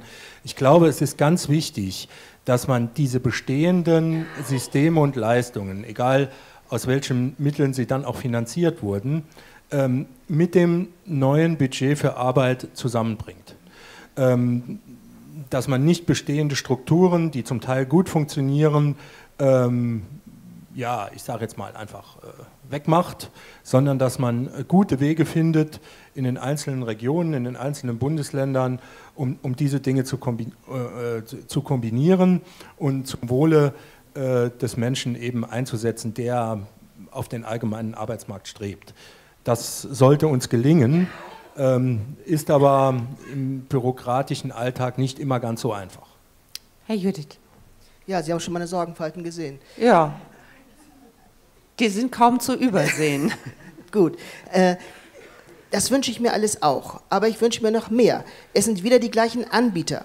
Also in Hamburg ist es so. In Hamburg sind es die Werkstätten, die diese Jobcoach zum Beispiel mit übernehmen. Es gibt noch zwei weitere Anbieter. Aber es ist keine Öffnung nach außen. Es ist wieder das gleiche es bleibt in, gleich, in den gleichen Händen, in der gleichen Struktur. Das möchte ich gerne aufbrechen. Ich möchte, dass es viele, viele kleine Leute gibt, Organisationen gibt, die, was weiß ich, sagen, hey, wir machen diese Begleitung, wir unterstützen dabei. Was brauchst du wirklich dabei? Und es muss nicht der Sozialpädagoge aus der Werkstatt sein. Es muss nicht der typische immer wieder der gleiche sein, die gleichen Anbieter, die jetzt sich dort ein neues Töpfchen aufmachen. Ich, ein, ein, ein Schmankerl nur ganz kurz. Es wird jetzt, es gibt diese unabhängige Beratung, die Sie gerade so wunderbar gelobt haben. Jetzt fangen die Träger an, Vereine zu gründen, damit sie sozusagen unabhängige Beratung anbieten können. Was ist das denn? Also ich muss da was Neues entstehen. Wir wollen doch was Neues mit diesem Bundesteilhabegesetz und nicht, dass die gleichen Anbieter wie vorher die Länder wieder die Hände aufhalten und das von der einen Hand in die andere schaufeln. Es muss da sich wirklich was verändern. Was Grundlegendes verändern heißt, sich wirklich öffnen und viele, viele andere Leute zulassen und eine Chance geben, sich da zu entwickeln. Und das ist das, was ich ein bisschen vermisse. Das Bundesteilhabegesetz ist geschrieben, Jetzt, genau was Herr Schmaus gesagt hat, jetzt ist, wer, wer bezahlt es eigentlich, wie wird es eigentlich umgesetzt, was passiert jetzt eigentlich, das ist bei den Ländern und ich habe ein ganz komisches Gefühl. Ich habe das Gefühl, es bleibt alles so, wie es war. Ja, es verändert sich nur ein bisschen was aus Inklusion, Integrationsbetrieben mit Inklusionsbetriebe. Es verändert sich ein Name. Auf die Frage, was hat sich jetzt strukturell oder was hat sich jetzt wirklich inhaltlich verändert, wenn ich meinen Namen ändere, war die Antwort nichts. Also das ist genau das, was ich befürchte. Und das ist das, was mich so wütend macht. Das Hamburger Budget für Arbeit hat es geschafft bis dato, ich habe dennoch die Leute vom Ministerium erreicht, 220 Menschen äh, auf dem ersten Arbeitsmarkt zu vermitteln. Das ist toll. Die Werkstätten vorher haben viel weniger Leute auf dem ersten Arbeitsmarkt vermittelt. Warum eigentlich? Sie haben doch, diese ganze, ganze Know-how ist doch da gewesen, über Jahrzehnte. Und sie haben es nicht geschafft, das zu machen. Erst als ein gewisser Sozialsenator gesagt hat, ich will jetzt in zwei Jahren 100 Leute auf dem ersten Arbeitsmarkt durch das Hamburger Budget für Arbeit. Haben alle die Hacken zusammengeklatscht, haben sich hingesetzt und zusammen daran gearbeitet, das umzusetzen. Herr Schmaus wird schon ganz Darf unruhig. Ich widersprechen? Ja, ich, ich, muss jetzt, äh, gut, wir haben zwei erfolgreiche Bundesländer bei der Vermittlung auf den allgemeinen Arbeitsmarkt, die vorne liegen. Das eine, das eine ist Hamburg und am Platz zwei kommt das Saarland. Äh, das Saarland vermittelt die Werkstattbeschäftigten. Rheinland-Pfalz, Rheinland-Pfalz. Ja, wir, wir wollen, wir wollen alle Bundesländer hier Ich rede von sozialversicherungspflichtigen Arbeitsplätzen jetzt gerade. Und wir haben die aus den Werkstätten heraus vermittelt, 180 bisher. Also wenn Sie 220 in Hamburg vermittelt haben, dann ist das ganz genau dasselbe. Und ich glaube, es ist nicht die entscheidende Frage, wo der Sozialarbeiter jetzt seinen Arbeitsvertrag hat, sondern es ist die entscheidende Frage, wo der Mensch mit Behinderung aus der Werkstatt nachher seinen Arbeitsplatz findet. Und natürlich, es ist äh, völlig irrelevant, ob der, der äh, Sozialarbeiter von, von, von, aus Hamburg, der nicht bei der Werkstatt an, äh, angestellt ist, ihm äh, in einen Schreinerbetrieb vermittelt oder äh, der Sozialarbeiter der Werkstatt oder die Fachkraft für betriebliche Integration. Also das ist mir zu ideologisch, ähm, das sollte an dieser Stelle keine Rolle spielen. Ich darf eine nächste Frage mit einknüpfen. Bitte schön. Stehen Sie kurz auf und stellen sich vor, ich halte das Mikrofon gerne für Sie fest. Ja, ich bin Joachim Andreas Breimeser, komme aus den Elbe-Werkstätten in Hamburg und ich habe mal, bin auch Werkstattrat und habe mal eine Frage an Herrn Judith. Äh, wenn man jetzt das persönliche Budget äh, einfordert ähm, und man schafft es nicht, vom ersten Arbeitsplatz, äh, ersten Arbeitsmarkt und geht dann wieder zurück in die Werkstatt. Äh, muss man das Geld dann wieder zurückgeben oder wie läuft sowas? Nein, ich denke, das, das haben wir wunderbar geregelt. Das, der Übergang auf den ersten Arbeitsmarkt ist möglich und das Zurückwechseln in die Werkstatt, wenn man es nicht möchte oder nicht kann, ist genauso wunderbar geregelt und, und sehr einfach möglich. Man muss nichts zurückzahlen, alles ist wunderbar. Sie haben ja tatsächlich so im, auf dem allgemeinen Arbeitsmarkt ja ein Entgelt verdient und wie jeder, der den Arbeitsplatz wechselt, muss ich ja nicht an den alten Arbeitgeber was zurückzahlen, nur weil ich den Arbeitgeber wechsle. Also das heißt, äh, da brauchen Sie gar keine Sorge zu haben. Die nächste Frage kommt von? Mein Name ist Alexander Wenger. Ich bin Schwerbehindertenvertrauensperson bei der GE Power AG. Das ist ein Unternehmen im Kraftwerkservice weltweit. Wir haben in Berlin hier ein wichtiges mittelständisches Unternehmen, was im Kraftwerkservice aktiv ist. Das ist der erste Arbeitsmarkt. Und zum Budget für Arbeit, ich bin selbst noch Mitglied im, in der IG Metall im Arbeitskreis für behinderte Menschen und im Bundesvorstand bin ich auch aktiv und bin äh, Mitglied im SOVD Berlin-Brandenburg. Meine Fragen zum Budget für Arbeit ist. Wollen wir mit einer anfangen? Ganz klar, kurz, pra pragmatisch. Wo beantrage ich dieses Budget? Beantrage ich dies bei der Arbeitsagentur, bei der Deutschen Rentenversicherung oder beim Bundesministerium für Arbeit? Wer kann die Frage beantworten? Beim also Träger der Eingliederungshilfe. Also das wäre hier in Berlin äh, Bezirk zurzeit. Oder? Äh, beim, beim Bezirksamt Pankow oder wie? Also welches Bezirksamt für Sie jetzt zuständig ist, das äh, können wir, glaube ich, jetzt an dieser Stelle nicht beantworten. Aber Sie hatten noch eine andere Frage. Die zweite Frage ist, bekommt bekommen nur Menschen diese Leistung, die neu eingestellt werden im Betrieb oder äh, auch die äh, im Betrieb äh, umgesetzt werden auf einen anderen Arbeitsplatz. Und dann, ähm, wie lange und ja, wie, wie lange, wie hoch haben wir ja gehört, 75 Prozent, aber wie, wie lange wird dieses Budget für Arbeit für den neu eingestellten Mitarbeiter oder um, umgesetzten Mitarbeiter gewährt. Da fragen wir doch wieder den Fachmann am besten. Also das richtet sich, das Budget für Arbeit richtet Sekunde, sich. Sekunde, Ihr Mikro ist noch nicht an. Das Budget Jetzt. für Arbeit richtet sich an Menschen, die ansonsten einen Anspruch hätten auf einen Arbeitsplatz in der Werkstatt, ein Recht auf einen Werkstattarbeitsplatz. Das heißt, Ihr Umsetzungsfall, da ist die Antwort nein. Dann ist ja jemand offenbar bei Ihnen beschäftigt. Glückwunsch, der ist offenbar nicht in der Werkstatt. Also das ist nicht der Fall, sondern es geht um Menschen, die, ja, es ist ein normaler Betrieb. Und wir, das Werkstatt, das Budget für Arbeit finanziert keine Arbeitsplätze in normalen Betrieben, die schon von normalen besetzt sind und normal finanziert sind. Das ist eine Alternative, eine andere Möglichkeit für Menschen, die sonst in einer Werkstatt für behinderte Menschen tätig wären. Und daher erklärt sich übrigens auch die Antwort auf die zweite Frage, nämlich im Prinzip unbefristet, so lange, wie er dann im Betrieb beschäftigt ist. Weil in der Werkstatt hat er einen Rechtsanspruch auf auch unbefristete Förderung, bis er irgendwann mal aus der Werkstatt herausgeht.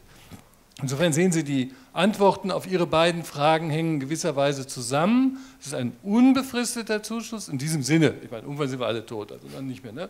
Also unbefristeter Zuschuss für Menschen, die sonst in einer Werkstatt beschäftigt wären. Also nicht eine Umsetzung im Betrieb. Wenn aber einer aus der Werkstatt bei ihm im Betrieb angefangen hat und danach dann umgesetzt wird, ja, das kann er natürlich mitnehmen. Also Vielen ist. Dank bis hierher. Die Details können wir sicherlich gleich noch im persönlichen Gespräch klären. Die nächste Frage bitte. Ja, Ferdinand Giese. Ferdinand Giese, ich bin Geschäftsführer einer Werkstatt für behinderte Menschen in Nordrhein-Westfalen, in Lippstadt genauer. Und ähm, ja, habe mal eine Frage. Es wurde ja eben allgemein beklagt, die niedrige Vermittlungsquote. Und es gab ja da auf dem Podium da die Frage, wer liegt jetzt nun an der Spitze, Hamburg oder das Saarland? Würden Sie vielleicht. Rheinland-Pfalz nicht zu vergessen. Rheinland-Pfalz nicht zu vergessen, gestehe ich gerne zu. Nordrhein-Westfalen jedenfalls ziemlich weit hinten. Ähm, würden Sie auch andere Gründe zulassen bezüglich der niedrigen Vermittlungsquote als die Frage, wie gut eine Werkstatt das managt und ähm, wie, wie die Rahmenbedingungen? Vielleicht zählt dazu auch noch das wirtschaftliche Umfeld der Region, in der eine Werkstatt tätig ist. Vielleicht zählt dazu auch die Frage, wie bereit sind denn Unternehmer äh, daran mitzuwirken. Wir haben uns ja in allen möglichen Symposien und Foren schon unterhalten darüber, was und als Adressat der Politik empfinde ich mich ähm, auch durchaus vorwurfsvoll unterhalten, warum Werkstätten das nicht schaffen. Ähm, ich habe bisher noch nicht gemerkt, dass Unternehmer ans Händchen genommen wurden, um zu sagen, ihr Leute, das ist auch ein verdienstvolles Feld für euch. Engagiert euch mal da, nehmt Kontakt zu der Werkstatt auf. Da, empfehl, da, da vermisse ich deutliche Signale der Politik. Das muss ich auch ganz deutlich mal sagen. Hier werden Werkstätten ziemlich im Regen stehen gelassen mit den Anforderungen der, der Politik und der, der, der Verwaltungen. Und Unternehmer, äh, ja, außer über die Ausgleichsabgabe gibt es da keine, keinen Hebel. Vielen Dank, Herr Greis und Herr Schmaus. Sind das Erfahrungen, sind das, ja, man muss es dann auch so sagen, schlechte Erfahrungen, die Sie teilen?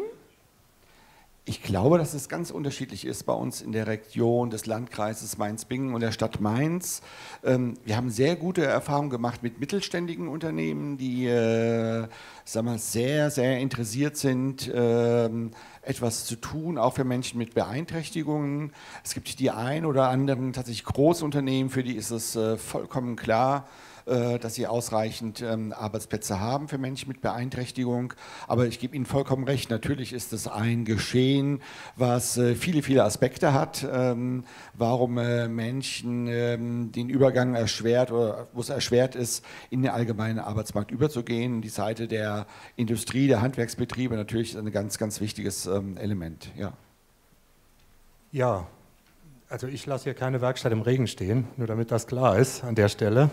Ähm, es war das Thema am Anfang, wie kann man mehr vermitteln und so etwas. Ich möchte eines klarstellen. Selbst wenn wir mit dem persönlichen Budget ähm, unsere Vermittlungszahlen in der Bundesrepublik Deutschland ver verzehnfachen, ja, dann liegen wir bei einem Prozent im Jahr. Wir liegen jetzt bei 0,1 Prozent, 0,11 Prozent Vermittlung in ein sozialversicherungspflichtiges Arbeitsverhältnis. Das stimmt, da gibt es äh, die Studie von Konsens. Im, in, in, Hamburg waren es 0,4 und im Saarland 0,3 oder sowas.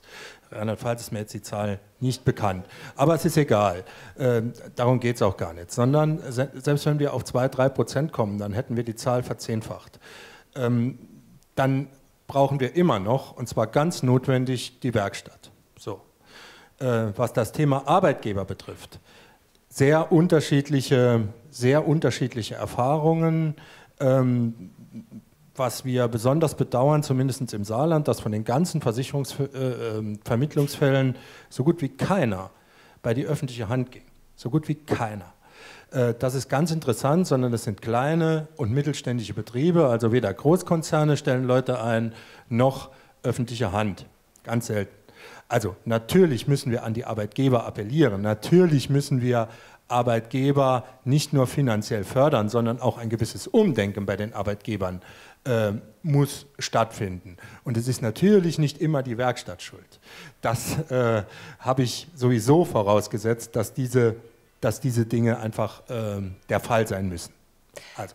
Wenn Herr Judith sich kurz fasst, darf er auch noch antworten, weil ich habe hier eine letzte Frage für dieses erste Forum. Naja, also kurz gefasst, äh, es ist schon erstaunlich, dass sich halt durch das Budget für Arbeit die Vermittlungszahl verzehnfacht. Das ist schon mal toll. Und ich finde, das sollten wir unterstreichen. Das haben wir auch in Hamburg erlebt, dass sich das sozusagen verzehnfacht hat. Und das ist großartig. Wenn sich das durchsetzt, dann haben wir vielleicht schneller weniger Leute in den Werkstätten als mehr Leute in den Werkstätten. Und auch das wäre ja nicht schlecht im Sinne der Inklusion. Ihre Frage bitte. Also mein Name ist Helmut Graner, ich bin Vertrauensperson äh, in der Volkswagen AG. Ähm, ich habe zwei Fragen und zwar. Eine bitte. Dann muss ich zwei zu einer zusammenfassen, kriege ich auch hin. Ich werde hier ganz gemein ausgetrickst. Nein, das ist ganz normal so im Leben. Äh, Das sagen Sie so. Aber gut, Ihre, Fra Ihre Fragen bitte. Ich meine das auch so. Ähm, erstens, ähm, die Betriebe und auch äh, Werkstätte, ich glaube, die gegenseitige Information, und zwar eine Information so, dass das wirklich auch bei den Betrieben ankommt, ob das nun Großbetrieb, Kleinbetrieb ist. Ich glaube, da müssen wir wirklich hinschauen und hingucken, dass wir dort die Informationen so breit streuen, dass da wirklich auch was passieren kann und dass das auch äh, zum Nutzen beider Seiten durchaus auch sein kann. Ich glaube, das ist ein Punkt, den müssen wir wirklich angehen an der Stelle. Und ich glaube, ein zweiter Punkt, und das wäre meine zweite Frage gewesen, ist schlicht und einfach äh, die Sache, man muss, glaube ich, wirklich darüber nachdenken, ob ich das als Länderpolitik tatsächlich so stehen lassen will oder nicht. Weil da sind so viele Unterschiede. Das, wo, äh, ich sag mal, Gelder äh, in irgendeiner Form locker gemacht werden müssen oder so, das ist das in den Ländern extrem unterschiedlich. Ich weiß es, weil wir mehrere Standorte an unterschiedlichen, äh, in unterschiedlichen Ländern haben und da ist das einfach so. Ich glaube schon, dass es durchaus nützlich und hilfreich ist, wenn wir dort äh, eine vernünftige, ordentliche Regelung haben. Es gibt nie die wirklich gute Regelung oder so, aber eine relativ vernünftige. Und ich glaube, das sollten wir ernsthaft mal betrachten bei dieser Geschichte. Und dann kann ich mir auch vorstellen, dass der ein oder andere tatsächlich aus der Werkstatt rauskommen kann in Betrieb wo er sinnvoll, vernünftig eingesetzt ist mit entsprechenden Unterstützung.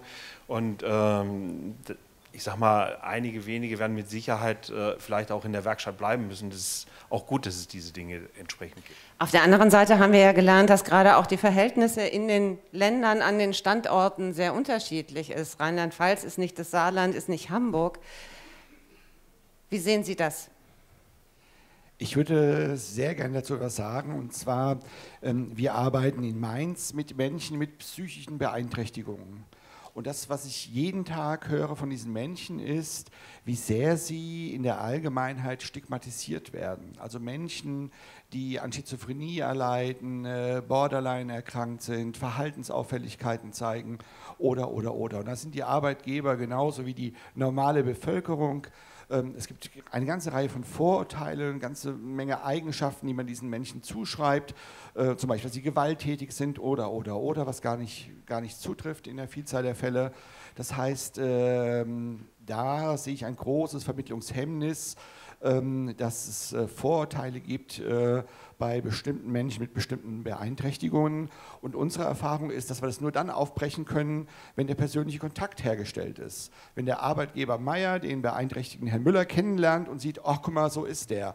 Und dass er auch weiß, es kann eine Krise kommen, es kann eine Krise kommen, da wird er schizophren, er wird psychotisch, es kann mal äh, schwierig werden. Und in der Tat brauchen wir da an der Stelle eine gute Betreuung, äh, dass jemand interveniert, dass jemand die Wogen klettet, vielleicht auch aus der Arbeit rauszieht ähm, und für andere Hilfen sorgt. Aber ich finde, das ist gerade bei der Arbeit mit Menschen mit psychischen Beeinträchtigungen ganz entscheidend, dass es ein ganz hohes gesellschaftliches Stigma gibt. Vorurteile abbauen durch persönliche Begegnungen, Herr Judith und Herr Schmaus, das ist sicherlich auch in, in Ihrem Interesse. Ja, natürlich. Also persönliche Begegnung in allen Formen. Ich denke, wir haben das, äh, wir haben das in, der, in der Politik weitestgehend erreicht in den zurückliegenden Jahren, dass Menschen mit Behinderung aus Werkstätten auch auf allen politischen Ebenen eingeladen werden. Herr Schummer macht das ja vor, die SPD-Bundestagsfraktion genauso, äh, dass Menschen mit äh, Werkstatträte und so weiter äh, in diesem Kontext mittlerweile inkludiert integriert, wie auch immer, in der Politik äh, sind. Allerdings ähm, im, im, wirtschaftlichen Umfeld ist das so noch nicht der Fall. Und das ist natürlich richtig, dass man, äh, dass man dort auch mehr, äh, mehr dafür werben muss, mehr Menschen mit, mit Behinderungen in Kontakt bringen muss mit Unternehmen. Wobei ich eines an der Stelle noch hinterher schieben möchte.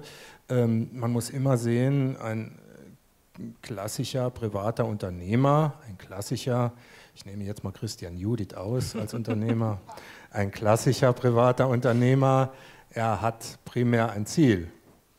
Das ist die Gewinnmaximierung. Ne? Das sollte man einfach an der Stelle immer wieder betonen. Und das ist eben nicht das Ziel der Werkstätten. Und deswegen beschäftigen wir als Werkstätten eben Menschen mit Behinderung, weil das unser Ziel ist, diesen Menschen Beschäftigung und äh, Teilhabe am gesellschaftlichen Leben zu bieten. Der private Unternehmer hat ein anderes Ziel.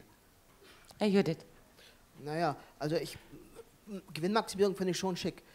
Also Ich finde das nicht schick. Ich habe das festgestellt, dass das das, das Ziel des ich, Unternehmens ich auch gerne, ist. sozusagen. Ähm, aber die Situation war genau das, dass dieser äh, Kollege auf mich zukam und sagte in einem Nebensatz nur, ich möchte gerne raus aus der Werkstatt. Das war nicht die Sozialpädagogin, es war nicht äh, die Leitung, es war nicht der Reha-Begleiter, es war der Beschäftigte selbst, der mich ansprach als Vertrauensperson, die ich dort als Externer in der Werkstatt war. Und dann dachte ich, okay, können wir drüber reden und dann daraus entstand das. Von daher meine Ermutigung, genau das, natürlich Menschen mit Behinderung rausgehen, reingehen in die Betriebe, zum Kfz-Mechaniker um die Ecke und sagen, hey, ich habe Bock bei dir die Werkzeuge zu sortieren oder äh, in der Bäckerei sonst was aufzuschlagen und zu sagen, ich würde gerne hier äh, arbeiten. Und ich glaube, dass das viel mehr passieren muss. Und auch Menschen mit Behinderung müssen eine Verantwortung dafür übernehmen, für sich. Ganz oft wird das in Institutionen abtrainiert. Ja, dass man Verantwortung übernimmt. Und das ist eine freche These von mir, das würde ich mir wünschen, dass viele Kollegen, Menschen mit Behinderung, äh, mehr Verantwortung, auch mehr Lust dazu haben, dann zu sagen, so, jetzt gehe ich los und ich mache das mal. Ich finde diese Idee toll. Und genauso hat es ja bei mir funktioniert. Ich bin nicht auf die Idee gekommen, ich mache jetzt äh, Hamburger Budget für Arbeit, weil irgendein netter Geschäftsführer oder Geschäftsführerin auf mich zukam oder ein Sozialpädagoge, sondern weil der Mensch mit Behinderung bei mir sozusagen äh, indirekt vor der Tür stand und sagte, ich hätte gerne Lust, nicht mehr in der Werkstatt zu arbeiten.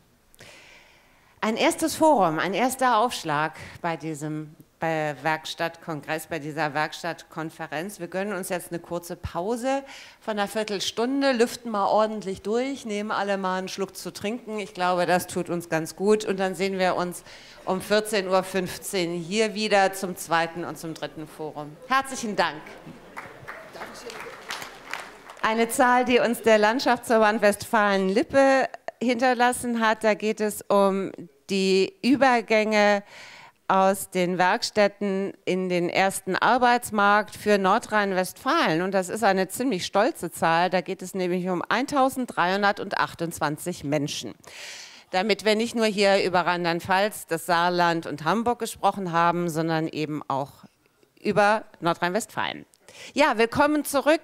Bildung in Werkstätten neu denken, berufliche Qualifizierung ausbauen. Das ist das Thema des zweiten Forums hier heute bei der Werkstattkonferenz im Fraktionssaal von CDU und CSU. Ich darf in die Runde bitten. Andreas Stratmann, Vorstand der Bundesarbeitsgemeinschaft der Werkstätten für behinderte Menschen. Dann ist Christina Schulz da, Vorstand der Werkstatträte in Deutschland. Kirsten Vollmer ist gekommen von der Stabstelle Berufliche Bildung für behinderte Menschen beim Bundesinstitut für Berufsbildung. Und Jens Nitschke, herzlich willkommen, Fachbereichsleiter Teilhabeleistungen und Recht bei der Bundesagentur für Arbeit. Ihnen allen nochmal einen guten Montagmittag. Ja, es darf ruhig Applaus geben, genau. Frau Stratmann, als Psychologin und Pädagogin, die Sie sind, wo stehen wir jetzt, was die Werkstatt Menschen angeht und wo wollen wir hin? Kommt gleich. Eins, zwei, drei. Ah ja, okay, wunderbar.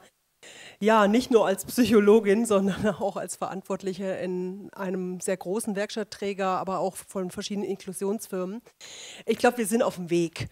Wir sind seit vielen Jahren aufgebrochen und haben Dinge gestaltet und haben jetzt durch das BTHG nochmal einen neuen Schub bekommen, die Dinge weiter zu gestalten. Also ich denke, in der Vergangenheit ähm, hatten wir sicher nicht so den Blick auf berufliche Bildung, wenn wir an Werkstätten gedacht haben. Folgerichtig gibt es auch Berufsbildung im Berufsbildungsgesetz in der Werkstatt nicht in der Form.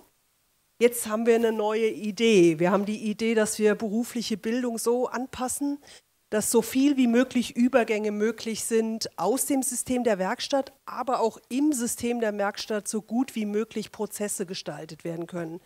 Und das müssen wir, glaube ich, jetzt nach und nach angehen. Das ist eine Aufgabe der Szene, das ist aber auch eine politische Aufgabe, beides. Frau Schulz, Eines Ihrer Themen ist die Situation von Frauen. Wo und wann sind behinderte Frauen besonders gefährdet? Also sicherlich nicht nur beim Thema Gewalt, das ist auch, wie ich finde, bei der, beim Thema Berufsbildung sehr stark der Fall. Wir haben von Werkstatträte Deutsch mal so eine kleine Umfrage gemacht, was die Leute gerne lernen müssen. Und da kam es doch ganz oft, dass Frauen dann zwar Kochen und Backen gesagt haben, aber wenn man dann so genau nachgefragt hat, war das eben ganz oft, ja, hm, mein Partner möchte das so oder ich will ausziehen und ich darf nicht, weil ich nicht kochen kann. Und das finde ich irgendwie, ja, eine schlimme Sache, wenn jemand nur deswegen in die Hauswirtschaft geht weil er vielleicht irgendwann mal dann ausziehen darf. Nichtbehinderte Frauen werden das auch nicht gefragt. Was können denn Werkstatträtinnen und Frauenbeauftragte in dieser Frage tun? Also sie können sicherlich dann immer wieder darauf aufmerksam machen, wenn Frauen irgendwie benachteiligt sind. Wenn zum Beispiel irgendein Gruppenleiter meint, irgendwelche Arbeitskleidung nicht rausgeben zu wollen, das heißt, Frauen kriegen keine Arbeitsanzüge, sondern nur taillierte Kittel, dann können sie halt auch nicht die entsprechenden Arbeiten machen. Und dass man da einfach äh, als Werkstattrat und auch als Frauenbeauftragte guckt, wie man da den Herrn ein bisschen einheizt. Das gelingt Ihnen bestimmt, also das glaube ich unbesehen. Kirsten Vollmer weiß, wie man Themen an den Mann und an die Frau redet. Sie hat jahrelang im Presse- und Informationsamt der Bundesregierung gearbeitet, unter anderem als Chefin vom Dienst. Inzwischen kümmert sie sich eben aber eben um berufliche Bildung für behinderte Menschen. Was sollten alle über dieses Thema wissen? Ja, ich schaue mal von der Bildung, denn jetzt bin ich ja seit vielen, vielen Jahren im Bundesinstitut für Berufsbildung. Ähm, ich denke, wichtig zu wissen ist, ähm, egal an welcher Stelle man steht, dass wichtig ist, dass berufliche Bildung in Werkstätten für behinderte Menschen ein Teil unseres differenzierten Spektrums an beruflicher Bildung ist. Dass es nicht ein separater Bereich ist, den man separat sieht oder separat behandelt oder vielleicht auch mit Vorurteilen separat betrachtet, sondern der ein selbstverständlicher Teil des beruflichen Systems der beruflichen Bildung ist. Und äh, es fielen ja vorhin schon die Stichworte Anschlussfähigkeit, Durchlässigkeit. Das, denke ich, ist ganz wichtig, ähm, dass man es unter diesen Aspekten sieht und dass man die berufliche Bildung der behinderten Menschen, und Frau Schrattmann hat es ja auch so dargestellt, dass man auf diesem Weg ist, und diesen Weg sehe ich auch so im Werkstättenbereich, dass man sich tatsächlich anschlussfähig an die die Philosophie fiel heute Morgen auch schon, ähm, an die Philosophie der beruflichen Bildung macht. Also an Vorstellungen wie berufliche Handlungsfähigkeit als Ziel beruflicher Bildung, wie Standards, wie Orientierung an den Ausbildungsberufen, damit man auch lesbar, auch transparent ist für Betriebe. Also wenn es um Übergänge gehen soll, ähm, dann ist es eben auch ganz wichtig, dass man eine berufliche Qualifizierung durchführt, die eben tatsächlich ähm, der beruflichen Qualifizierung in der regulären Ausbildung in irgendeiner Art und Weise entspricht. Also dass wir, das fängt an von den Begrifflichkeiten, das fängt an von der Art des äh, Qualifizierens. Ähm, das ist aus meiner Sicht sehr wichtig. Und äh, wenn ich noch einen zweiten Satz sagen darf, wir haben jetzt äh, ganz aktuell zum 1. Januar ähm, dieses Jahres ist eine Fortbildungsordnung ähm, in Kraft getreten. Denn wenn wir über berufliche Bildung in Werkstätten sprechen, dann sprechen wir natürlich auch über diejenigen, nämlich über die Fachkräfte zur Arbeits- und Berufsförderung, die genau das tun, die Menschen zu qualifizieren, die Übergänge initiieren, die an den individuellen Ausgangslagen der behinderten Menschen ansetzen. Und hier ist eben jetzt in der Tat im Gegensatz zur Vorgängerregelung, die ja noch hieß Fachkraft zur Arbeits- und Berufsförderung in Werkstätten für behinderte Menschen, die Werkstätten für behinderte Menschen sind weggefallen, nicht weil sie nicht mehr ein wichtiger Lern- und Beschäftigungsort sind, sondern weil man mit diesem neuen Qualifikationsprofil ernst macht mit der Personenzentrierung. Man rückt tatsächlich den behinderten Menschen ins Blickfeld und sagt so, wo sind dessen Fähigkeiten, wo sind seine Bedarfe, wie kann man ihn so qualifizieren, ähm, dass für ihn Perspektiven entstehen. Und dieses Qualifikationsprofil muss jetzt natürlich auch in die Praxis umgesetzt werden und da nehme ich auch gerne die Gelegenheit wahr und danke auch dem Veranstalter hier, ähm, dafür tatsächlich zu werben. Denn das ist aus meiner Sicht ein ganz wichtiger Punkt, wo man tatsächlich weiterkommen kann in Bezug auf die behinderten Menschen. Ich glaube, das Dankeschön ist angekommen, oder Herr Schumann? Jens Nischke von der Bundesagentur für Arbeit ist zu uns gekommen, mit den Werkstätten gleich doppelt verbunden. Ergibt sich daraus auch eine doppelte Herausforderung? Also wir haben auf beiden Gebieten sowohl als Anerkennungs... Wenn Sie das Mikrofon ein bisschen höher halten, dann kann man Wir haben sowohl als Anerkennungsbehörde äh, für die Werkstätten äh, für behinderte Menschen eine Verantwortung. Natürlich, dass äh, die entsprechenden Regelungen, so wie sie im SGB IX äh, niedergeschrieben sind und auch in der Werkstättenverordnung dann auch umgesetzt werden, äh, sodass auch äh, Gewähr gegeben ist, dass die Werkstätten entsprechend ausgestattet sind, entsprechendes Personal vorhalten und die entsprechenden Personalschlüssel auch vorhalten. Das andere ist natürlich, wir sind Leistungsträger, Rehabilitationsträger und ähm, können die Werkstätten zumindest im Eingangsverfahren und im Berufsbildungsbereich belegen. Und äh, wir haben uns dort als äh, Leistungsträger, 2010 war das, ähm, ein Fachkonzept überlegt, mit dem wir sozusagen im Dialog auch mit den Werkstätten dann stehen. Äh, die äh, Werkstätten ähm, konkretisieren unser Fachkonzept durch ihre Durchsetzung oder Umsetzungskonzepte, äh, die sie uns dann vorlegen, um dann auch zu garantieren, dass ähm, der Teil der beruflichen Bildung entsprechend durchgeführt werden kann. Wir wollen uns ein Beispiel bzw. ein Modell aus der Praxis ansehen, was in Dortmund entwickelt worden ist, dort an der Technischen Universität. Es geht um Möglichkeiten von E-Learning, um interaktive Lernvideos. An dieser Entwicklung waren und sind beteiligt Martina Kunzendorf und Stefan Wagner. Und die beiden stellen uns jetzt die Möglichkeiten von Via for All vor. Herzlich willkommen.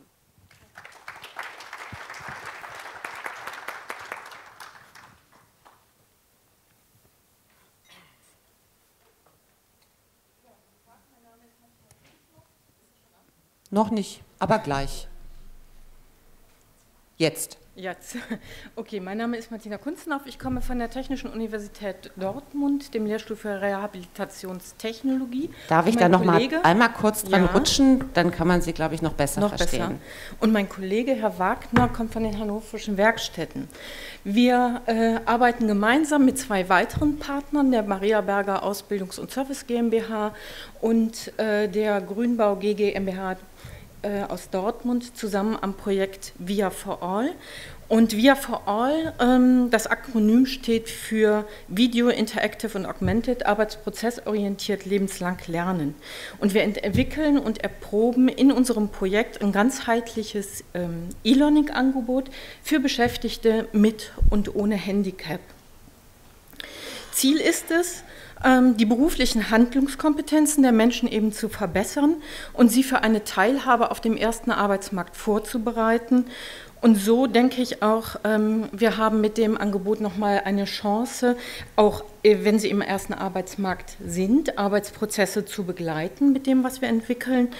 Und wir denken damit einen Beitrag zur Durchlässigkeit, die hier eben so oft angesprochen worden ist, zu leisten. Kern des E-Learning-Angebots sind eben interaktive, arbeitsprozessorientierte ähm, Lernvideos, die in so ein ganzes E-Learning-Szenarios eingebettet werden, die auch Kommunikations- und Kooperationswerkzeuge uns zur Verfügung stellen. Und vor der, äh, dem Hintergrund der Zielgruppe ist es bei uns für die Entwicklung der Lernvideos ganz wichtig, dass die eben sowohl technisch, aber auch didaktisch barrierefrei sind. Das heißt, wir greifen zurück auf äh, das Universal Design for Learning. Hier geht es darum, möglichst vielfältige Darstellungsweisen zu entwickeln für Lerninhalte über Grafiken, Videos etc., dass die eben ähm, auf verschiedentlich präsentiert werden. Ähm, es sollen vielfältige Möglichkeiten geboten werden zur äh, Beteiligung und des Austausches miteinander. Ähm, dann benutzen wir die leichte Sprache. Äh, Wobei wir hier ein, äh, explizit ein, eine Ausnahme machen, nämlich die Fachsprache behalten wir bei, weil wir die für die Integration in den ersten Arbeitsmarkt für sehr deutlich, äh, wichtig halten. Ähm, die wird aber dann, wenn wir in den Lernvideos ähm, arbeiten, kontextsensitiv erklärt. Das heißt, der User kann dann hingehen und sich die entsprechenden Erklärungen ähm, aufrufen. Dann orientieren wir uns ganz wesentlich nochmal am Prinzip der vollständigen Handlung. Wir haben also nicht losgelöste Lerneinheiten, sondern wir orientieren uns immer an einem kompletten Arbeitsprozess, einem kompletten Arbeitsauftrag. Ähm, Eine kurze ähm, ja, äh, Besonderheit möchte ich noch bei der Erstellung der Lernvideos äh, vorstellen. Und zwar arbeiten wir hier ähm, bei der Aufnahme der Arbeitsprozesse auch mit einem Eye-Checker. Das heißt, wir ergänzen sowas wie Beobachtungen, Interviews etc. Und dieser Eye-Tracker gibt uns die Möglichkeit zu gucken, an welchen ähm, Stellen ist es eben sehr schwierig im Arbeitsprozess, wo äh, muss sich jemand sehr konzentrieren, wo ist Aufmerksamkeit gefordert etc. Und diese Stellen unterstützen wir dann im Lernvideo explizit. Das heißt, äh, wenn so eine Stelle im Arbeitsprozess vorkommt, erscheint ein kleiner Button und hier kann der User dann äh, draufgehen und äh, das Video anhalten und die nachfolgenden Informationen werden dann eingespielt. Ich glaube, das war so ein wirklich sehr kurzer Abriss zu dem, was wir im Vorhaben äh, machen. Ja, und ich will mal ganz kurz so ein Mini-Beispiel aus der Praxis zeigen. Ich habe hier so ein Tablet mitgebracht, darum geht es letztendlich. Wir bei den hannoverschen Werkstätten im Berufsbildungsbereich qualifizieren und fördern unsere Teilnehmer auch dahingehend, dass sie ähm, Qualifizierungsbausteine abschließen können. Die sind äh, Qualifizierungsbausteine, die von der Landwirtschaftskammer Niedersachsens abgenommen sind. Wir haben richtige Prüfungen und unsere Intention war, in diesen ähm, Via for All alle Informationen in so einen Kurs reinzupacken, um einen Qualifizierungsbaustein abschließen zu können. Das heißt, ich gucke mir nicht nur als Teilnehmer den, das reine Video an, wie wird etwas gemacht, sondern kriege diese Hintergrundinformationen, das Expertenwissen, das Fachwissen, das Erfahrungswissen auch der Fachkräfte vor Ort, kann mir anschauen, wie wird eine Waschmaschine auch wirklich gewartet. Das kriege ich so im Alltag normalerweise nicht mit, weil die nur einmal die Woche gewartet wird. Aber äh, alle Informationen, die dafür zuständig sind oder die dafür nötig sind, sind hier drin. Das ist relativ einfach in Kacheln aufgebaut. Die Navigation ist recht simpel. Wir haben noch zwei, drei Tablets mehr mitgebracht. Wir können nachher in der nächsten Pause gerne uns draußen nochmal hinstellen und wer Interesse hat, kann dann auch mal direkt vor Ort auch nochmal gucken, wie das so funktioniert. Was wichtig ist, ist nochmal, wir haben in so einem Kurs ähm, nicht nur die Fachsprache mit drin, die wir wichtig halten, sondern halt auch eine auditive Unterstützung. Wir haben Audio-Buttons mit dabei, wo das Ganze auch nochmal vorgelesen werden kann. Wir haben Piktogramme mit eingebaut für den Teilnehmer, der nicht wirklich richtig gut lesen kann, sich darüber auch nochmal zu informieren. Und in der zentral gesteuert ist dieses Lernvideo. Das ist ein Player, ähnlich wie bei anderen Internetseiten, wo man sich Filme angucken kann, die äh, etwas vormachen, was ich gerne nachmachen möchte, mit der Besonderheit aber, dass in diesem Film Buttons auftauchen. Das sind dann rote oder blaue Punkte, die werden immer größer an bestimmten Stellen, so wie Frau Kunzenguthoff gerade schon sagte. Und da stoppe ich den Film. Und dann kann ich tatsächlich wissen, in dem Film, wo es dann drin steht oder gesagt wird, bitte achten Sie beim Legen der Geschirrtücher auf die linke Seite. Was ist die linke Seite? Dann kriege ich Informationen, wenn ich das anklicke, über die linke Seite eines Stoffes. Woran erkenne ich das? Worauf muss ich insbesondere achten? Und bei vielen anderen einzelnen äh, Schritten sind immer tauchen diese Buttons auf. Zusätzlich haben wir in diesem Kurs noch mit drin auch Übungen zu diesem Thema. Das heißt, wir haben äh, so kleine äh, Spiele, Übungen äh, gebaut zum Fachwissen, zum, zur Hygiene, zu, zum Berufsbildungsbereich selber. In welcher Maßnahme bin ich drin? Wie ist das Ganze gestrickt? Also ähm, ganz viele Informationen, die das Ganze gut abrunden und der Teilnehmer kann hierüber auch über seinen persönlichen Login, den er von uns bekommt, sich das nicht nur zu Hause anschauen, er kann das während der Arbeitszeit sich anschauen. Er kann das Tablet mit an seinen Arbeitsplatz nehmen, mit an die Mangel. Hat Frau Professor Dr. Wanker selbst ausprobiert, wie das funktioniert, mit der, äh, mit der Mangel dann zu arbeiten. Ähm, kann sich da die Informationen holen. Er kann es, oder der, auch die Fachkraft, kann es einsetzen in einem ja, Projekt. Drei Teilnehmer kriegen die Aufgabe, für eine Konferenz einen Rührkuchen herzustellen. Tablet an die Hand. Wie funktioniert das nochmal? Wir haben darüber gesprochen. Ihr wisst, wie ihr euch einloggt. Die Informationen sind da drin. Jetzt müsst ihr aber umrechnen. Es müssen drei Rührkuchen gebacken werden, nicht nur einer. Also all diese Sachen sind damit dabei. Zusätzlich arbeiten wir mit der Berufsschule zusammen. Die unterstützen das Ganze auch nochmal mit. Da werden diese Themen auch mit aufgegriffen. Also rundum ein, ein gutes Gesamtpaket, wo unsere Teilnehmer, äh, ja, das ist einfach die Erfahrung, total happy sind, dass sie damit arbeiten können. Ähm, Prüfung selber haben wir jetzt noch nicht abgenommen, aber es ist ein zusätzliches Instrument und wenn man verstanden hat, dass man Via for All auch als Methode für die Qualifizierung einsetzen kann, ist das eine zusätzliche Bereicherung. Ich glaube, das soll an dieser Stelle so reichen. Wir wurden gebeten, kurz zu halten, aber wir sind Dankeschön draußen dafür. nachher und äh, äh, beantworten gerne noch mehr Fragen. Ich kann mir vorstellen, dass die Fragen kommen. Herzlichen Dank. Martina Kunzendorf und Stefan Wagner. Ich hatte jetzt so ganz kurz die Befürchtung, so ein Tablet wird mitgemangelt oder mitgebacken. Aber das war sicherlich nur so ein Gedanke. Fragen zur beruflichen Bildung. Dann gehe ich da mal rüber. Hallo. Mein Name ist Johannes Scheffler. Ich arbeite äh, in den Delfinwerkstätten in Berlin hier und habe auch äh, im Arbeitsbereich als Gruppenleiter und habe aber auch mit der beruflichen Bildung zu tun. Und ich finde dieses Thema total spannend und das ist mit eines der wichtigsten, denke ich, was wir in den Werkstätten auch weiterentwickeln müssen. Ähm, für mich fängt das dann aber auch an der Stelle an, dass man darüber nachdenken sollte, äh, wie viel Zeit die Leute in der Werkstatt für die berufliche Bildung haben, weil das ist momentan ja nur geregelt. Wie es weiterhin ist, eben zwei Jahre und wenn äh, ich hier höre, dass man sich auch an Ausbildungsberufen eben äh, orientieren will, dann ist ein Jahr weniger, was ja die Regel ist, immer schwierig. Und ich denke, dass die Leute, die in der Werkstatt ähm, im Berufsbildungsbereich arbeiten, wissen, dass das erste Jahr in der beruflichen Bildung ähm, weniger mit dem eigentlichen Beruf, den man dann später gehen will, in der Werkstatt oder auch weitergehend äh, zu tun hat. Und de facto ist dann diese Zeit im Grunde genommen wenig. Ja. Frau Streitmann, wo soll die Zeit herkommen? Ja, das ist bei all der Freude über das Bundesteilhabegesetz leider eine etwas bittere Pille gewesen, dass es nur bei einem zweijährigen Rahmen des Berufsbildungsbereiches bleibt. Und das vor allen Dingen, wo alle eigentlich wissen, dass Bildung der Schlüssel ist, um Übergänge zu gestalten und um auch Qualität zu erzielen. Das ist kein gutes Signal. Jetzt ist das aber mal so. Und irgendwie ist natürlich nach dem Gesetz auch wieder vor dem Gesetz. Ich glaube, es muss in diese Richtung weitergehen. Und das äh, wird immer sehr stark jetzt diskutiert mit dieser Übergangsgestaltung. Das ist auch so, das ist die eine Ebene. Die andere ist aber die auch in der Werkstatt selbst.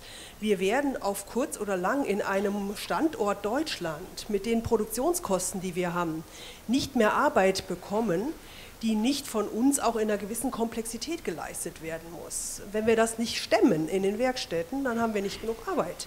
Das heißt, Bildung ist eine lebenslange Anforderung, die wir stellen müssen, und zwar so niederschwellig, wir haben es eben von Via for All gehört, und mit so viel Technik, wie der Markt momentan hergibt. Ich glaube, der Weg, der ist unerlässlich. Wenn wir das nicht tun, sind wir als Lieferanten irgendwann nicht mehr en vogue.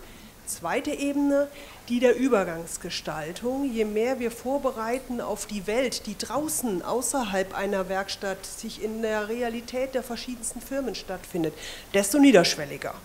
Je weniger wir das tun, desto höher die Barriere überhaupt überzugehen. Und also ich würde mir von Herzen wünschen, dass der beruflichen Bildung auch noch mal ein bisschen ein Schuhschluss gewährt wird, zeitlicher Art. Das wäre ein guter Invest. Ergänzungen aus der Runde? Ergänzungen aus der Runde? Sonst habe ich hier die nächste Frage.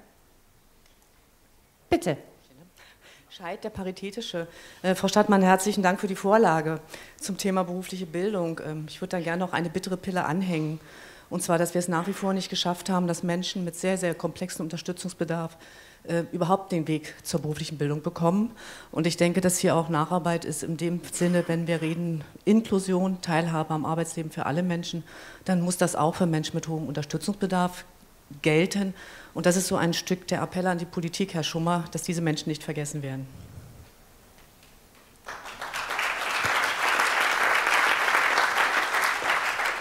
Das deckt sich auch mit Ihren Erfahrungen, Frau Staatmann. Und Frau Schulz, da meine ich auch so ein leichtes Nicken entdeckt zu haben. Also ich muss ganz ehrlich sagen, ich bin ja auch Psychologin, aber es hat mir von der Logik her nie eingeleuchtet, wieso ein Mensch mit Behinderung das schneller schaffen soll, wie ein Mensch ohne Behinderung. Das ist einfach total unlogisch. Das heißt konkret? Also wenn ich jetzt, jetzt von, von mir aus gehe, also mein, mein äh, Psychologiestudium hat damals acht Jahre gedauert und ich denke, die Zeit braucht man auch. Die braucht auch ein Mensch mit Behinderung. Dann habe ich hier noch eine Frage gesehen. Komme ich noch mal zu Ihnen? Ja. Ich halte es fest, danke. Also Als islamischer Pädagoge habe ich mich jahrelang mit der Psychologie der Menschen, der Jugendlichen beschäftigt und ich habe mehrere Bücher geschrieben und ein Buch heißt von mir, das ist eine Dissertationarbeit, Erziehung ist Liebe. Jeder Mensch, der auf der Welt lebt, egal in welcher Religion, in welcher Situation, hat drei Eigenschaften in sich. Jeder Mensch will lieben, jeder Mensch will geliebt werden, jeder Mensch will anerkannt, geschätzt werden. Besonders bei den Behinderten ist dieser bei der, bei der Behinderten besonders ist es wichtig, dass wir sie anerkennen und schätzen. Dass im Werkstätten ist allein nur einen Beruf lernen, würde nicht genügen, meiner Meinung nach. Man muss da mit den Eltern sehr eng zusammenarbeiten, weil ich weiß, dass die Eltern manchmal keine Geduld haben und diese Behinderten nicht so mit Liebe behandeln. Und deshalb würde ich mal Sie empfehlen, oder ob Sie auch mit den Eltern zusammenarbeiten und diese, was ich gesagt habe, dass Sie Vorsicht äh, haben, dass die Eltern auch den Kindern viel Liebe und Geduld zeigen. Dankeschön. Herr Nischke, Liebe und Zuneigung und Wertschätzung sind jetzt nicht unbedingt die Begriffe, die man mit der Bundesagentur für Arbeit verbindet. Ich weiß, das ist jetzt ein bisschen Warum nicht? fies. Weiß ich nicht. Also das ist, ist mir jetzt so. Ist da. Aber Sie verstehen, was ich, was ich damit sagen will. Ist das ein, ein Feld, auf dem die Bundesagentur für Arbeit äh, noch ausbaufähig ist?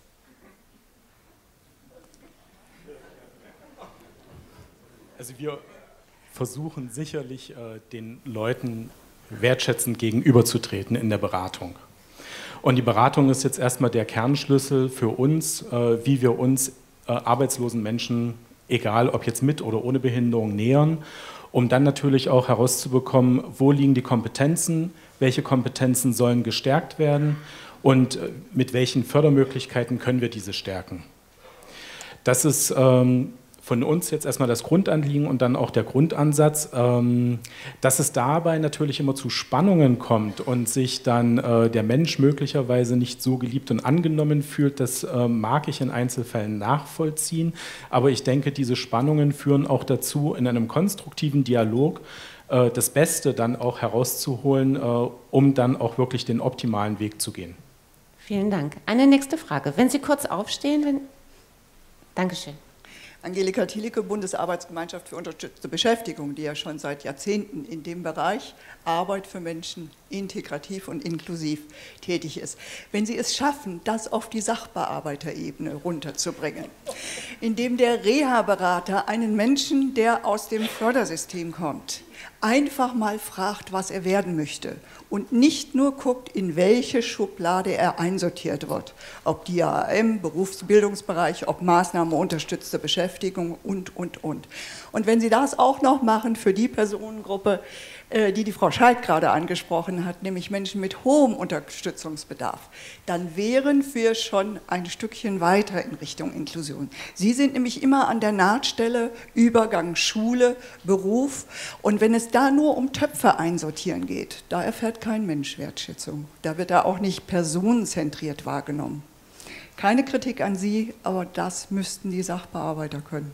Es gibt bestimmt auch ganz tolle Sachbearbeiter bei der Bundesagentur für Arbeit. Das kann ich jetzt nur unterstreichen. Also es gibt natürlich solche und solche. Und es ist ähm, dieses System oder das, ähm, der Anspruch der Inklusion, das ist natürlich nicht nur ein Anspruch sozusagen, äh, den die Politik jetzt einfach mal so in den Raum gestellt hat und der sich von selbst erfüllt, sondern äh, das merkt ich merke das auch bei mir, man muss da auch an sich selbst arbeiten. Und das ist natürlich etwas, weil äh, jeder Berater muss da natürlich auch an sich arbeiten, äh, jeder Sachbearbeiter muss da an sich arbeiten, dass er auch bestehende Vorurteile im Kopf dann abbaut. Und äh, wir als Organisation versuchen das natürlich auch mit entsprechenden Qualifiz äh, Qualifizierungen für das eigene Personal auch zu äh, begleiten und zu unterstützen. Frau Vollmer. Ja, ich würde gerne noch mal ist es an jetzt? Ja? Ich würde gerne noch mal auf Wenn Sie es ein bisschen näher an den Mund halten, wird es besser. So, ja, ich probiere es. Ich würde gerne noch mal den, ähm, den Blick von uns allen äh, auf die konkrete berufliche Bildung äh, in den Werkstätten äh, lenken. Ähm, hier sind jetzt ja auch so verschiedene Punkte noch mal angesprochen worden, auch die Frage Zusammenarbeit mit Eltern und, und, und. Und Sie werden sich nicht wundern, dass ich jetzt noch mal gerne die Fachkraft ähm, in den Fokus richten möchte in unserem Blickpunkt, weil sie aus meiner Sicht eben wirklich ganz zentral dafür ist, dass das, was ja doch Konsens ist, nämlich hier die berufliche Bildung der ähm, behinderten Menschen zu fördern, ähm, dafür eben aus meiner Sicht eben wirklich äh, ein ganz wichtiger Faktor ist, neben allen strukturellen Fragen.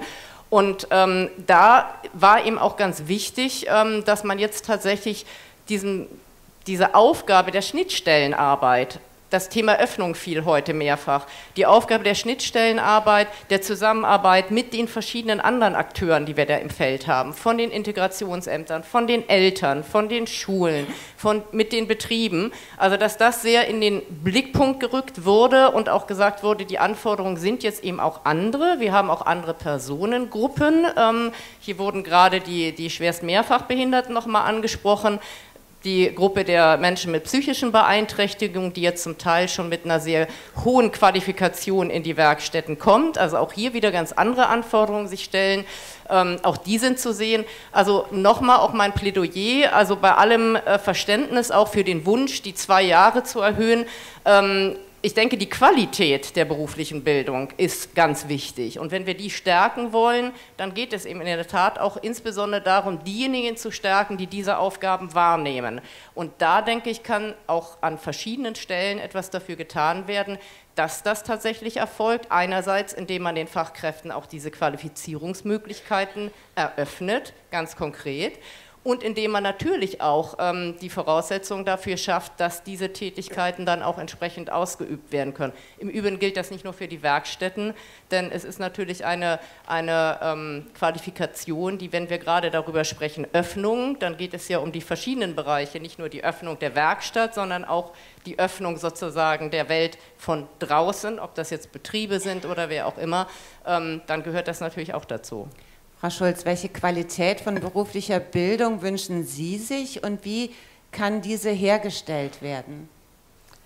Also ich muss ja zum einen mal sagen, ähm, das ist ja ganz witzig, dass ich jetzt hier auf dem Podium sitze, weil ich bin jetzt vor einiger Zeit in der Veranstaltung gefragt worden, warum ich Werkstatträtin geworden bin und konnte eigentlich nur die Antwort geben, ich habe eine fürchterliche äh, Berufsbildungsmaßnahme hinter mir und habe dann danach beschlossen, so kann das nicht bleiben.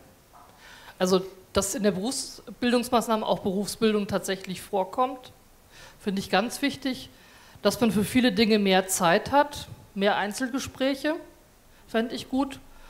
Und ich finde, dass man immer das Thema mit der Chancengleichheit von Mann und Frau einfach auch in der Werkstatt im Hinterkopf behalten muss. Da sind die Chancen nicht gleich. Ich weiß genau, dass meine männlichen Kollegen viel eher einen Staplerschein machen können wie die weiblichen.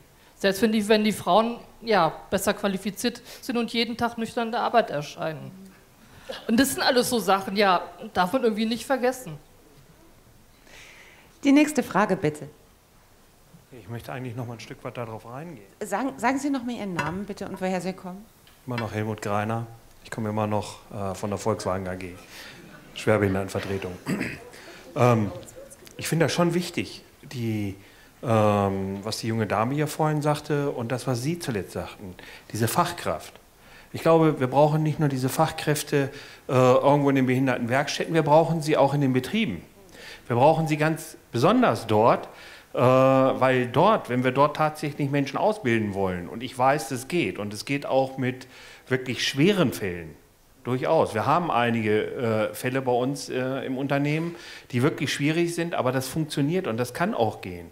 Und in Richtung Arge, da würde ich mir in der Tat wünschen, es gibt mit Sicherheit total tolle und gute Menschen. Aber wenn so, ein, so eine Vorbereitung, um jemanden in die Ausbildung zu bekommen, ja, ähm, durchaus ein Jahr dauert, dann finde ich, dann passt da was nicht. Also auch da sollte man gucken, Fachkräfte da dran zu setzen, die nicht nur das Fach drauf haben, sondern auch diese Sensibilität der Situation erfassen können. Ich glaube, das ist auch noch eine wichtige Größe. Da sollte man in der Tat hingucken. Und ich glaube, dann würde das auch funktionieren, weniger Kritik da an diesen Stellen zu bekommen. Dankeschön. Wer möchte antworten? Bitte, Frau Straten. Also ich finde das sehr richtig, was Sie sagen und sehr wichtig. Es ist ja immer ein beiderseitiges Thema. Der eine bereitet sich vor auf einen Markt und der, der Markt muss ihn wollen. Also wenn beide Seiten nicht mitspielen, dann funktioniert das halt nicht. Und wird das auch unbedingt unterstützen. Und ich glaube, ein Hebel sind wirklich die Teilqualifizierungen, weil wir in der Welt, in der sonstige Bildung stattfindet, einfach mit Systemen vertraut sind. Und die Menschen, die dort arbeiten, werden sich nicht auf den Weg machen und ein anderes System lernen, sondern sie werden von denen, die zu ihnen kommen, erwarten, dass sie ihre Sprache sprechen, dass sie Inhalte darstellen können, die sie gemacht haben, die sie einordnen können.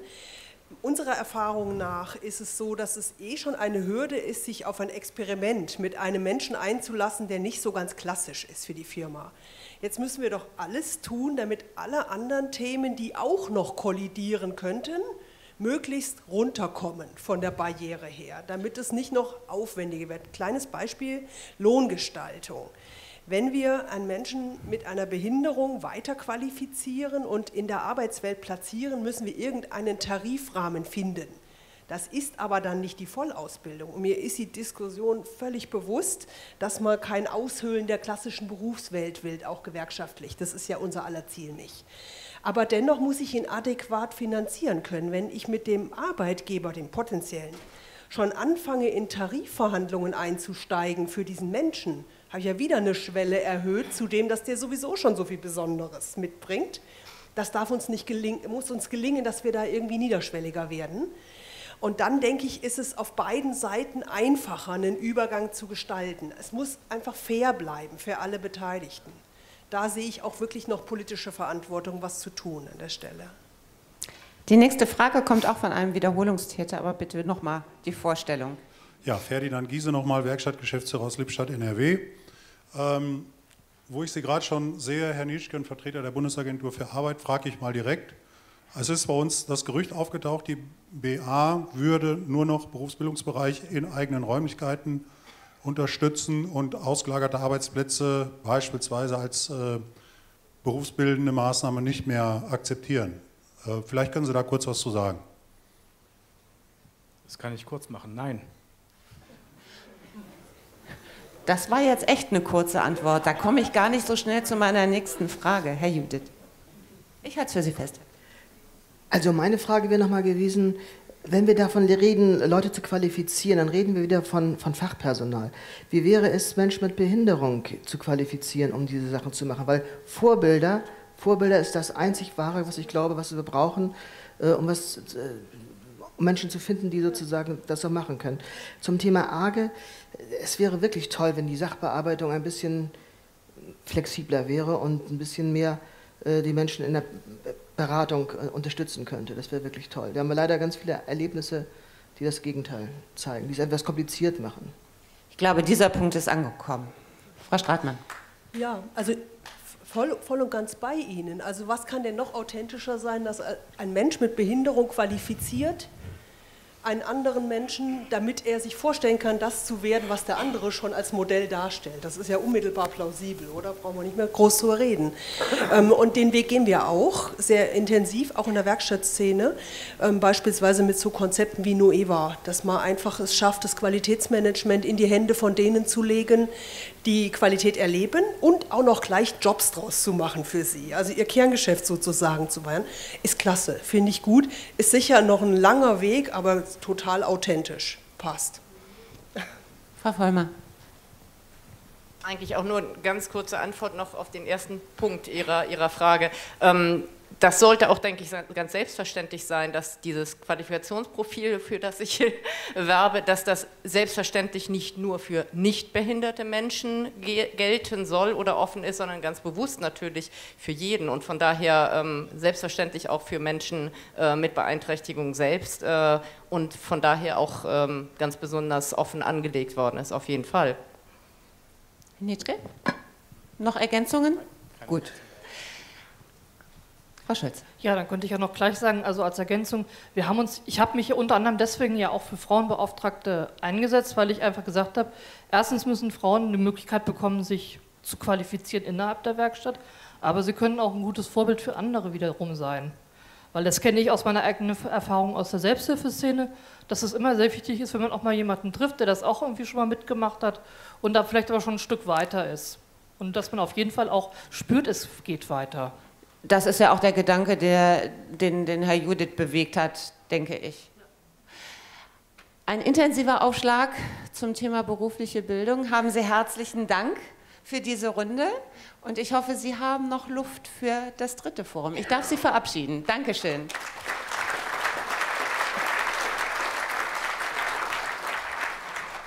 Das dritte Forum an diesem heutigen Montag. Ich darf zu mir bitten Andreas Sperlich, Geschäftsführer Union Sozialer Einrichtungen. Jürgen Tevis ist da, Vorstand der Werkstatträte in Deutschland. Thomas Keller, Sie können sich setzen, wohin Sie möchten. Wir haben, wie gesagt, keine, keine Sitzordnung. Und Thomas Keller ist Geschäftsführer der Hoffnungstaler Werkstätten. Herzlich willkommen auch Ihnen drei.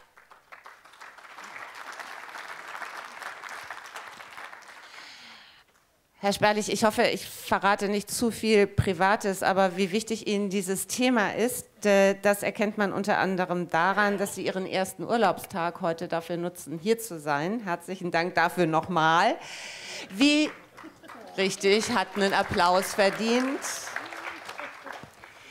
Wie definieren Sie denn die Rolle der Werkstatträte heute und wie soll diese Rolle in Zukunft aussehen? Ja, wir haben ja seit Beginn dieses Jahres ja eine neue Mitwirkungsverordnung, die wir jetzt mit, oder ergänzte Mitwirkungsverordnung, die wir mit Leben erfüllen wollen. Und äh, erfreulicherweise ist die Stellung äh, der Werkstatträte darüber ja schon eindeutig gestärkt worden. Ähm, ich selbst als Geschäftsführer einer Werkstatt ähm, schätze den Austausch mit meinem Werkstattrat sehr, weil er, weil er einfach unglaublich viele Impulse für unsere Arbeit gibt ähm, und wir mit dem, was wir dort hören, was auch Herr Judith ja heute mehrfach angemahnt hat, auf die Menschen zu hören, was sie denn wollen, ähm, das dann auch in unsere tägliche Arbeit umsetzen können. Und da schwingt gleich so ein bisschen Kritik eigentlich auch an der Mitwirkungsverordnung mit aus meiner Sicht, ähm, weil sie ist mir ehrlich gesagt zu weich. Sie bringt mir noch viel zu viele Unsicherheiten für die Zusammenarbeit zwischen den Werkstatträten und den Geschäftsführungen oder Werkstattleitungen mit sich, weil häufig von sollen, kann ähm, die Rede ist. Ich würde mir viel klarere ähm, äh, Regelungen wünschen, damit wir dann im Austausch mit den Werkstatträten ähm, darüber nicht Diskussionen führen müssen. Ähm, und gleichzeitig finde ich, dass die Mitwirkungsverordnung äh, zu wenig sagt äh, oder den Werkstatträten mitgibt, äh, wie sie ihre Rechte umsetzen können. Ähm, ich nehme in der Arbeit äh, mit den Werkstatträten sowohl auf Landesebene, ich bin auch noch LAG-Vorsitzender, aber auch in unserer Werkstatt wahr, dass es eine hohe Unsicherheit gibt. Ähm, wie finde ich meine Vertrauensfrau oder meinen Vertrauensmann? Ähm, wie kann das alles geregelt werden? Wie werden sozusagen die äh, entsprechenden Personen weiterqualifiziert?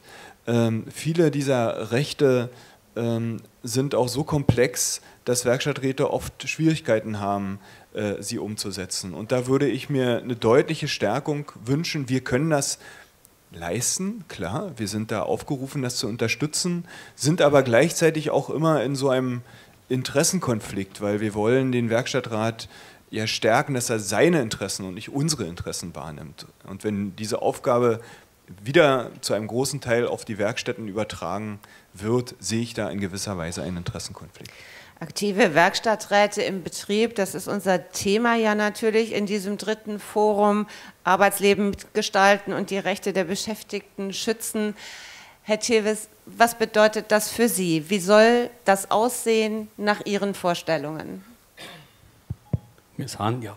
Also wichtig ist, dass die Werkstatträte auch unterstützt gehen, wie er gerade sagt. Äh, ich finde das sehr gut, wenn Geschäftsführer das machen. Äh, es kommt ja jetzt auch noch die Frauenbeauftragte dazu. Und äh, man kann das sehr leicht machen.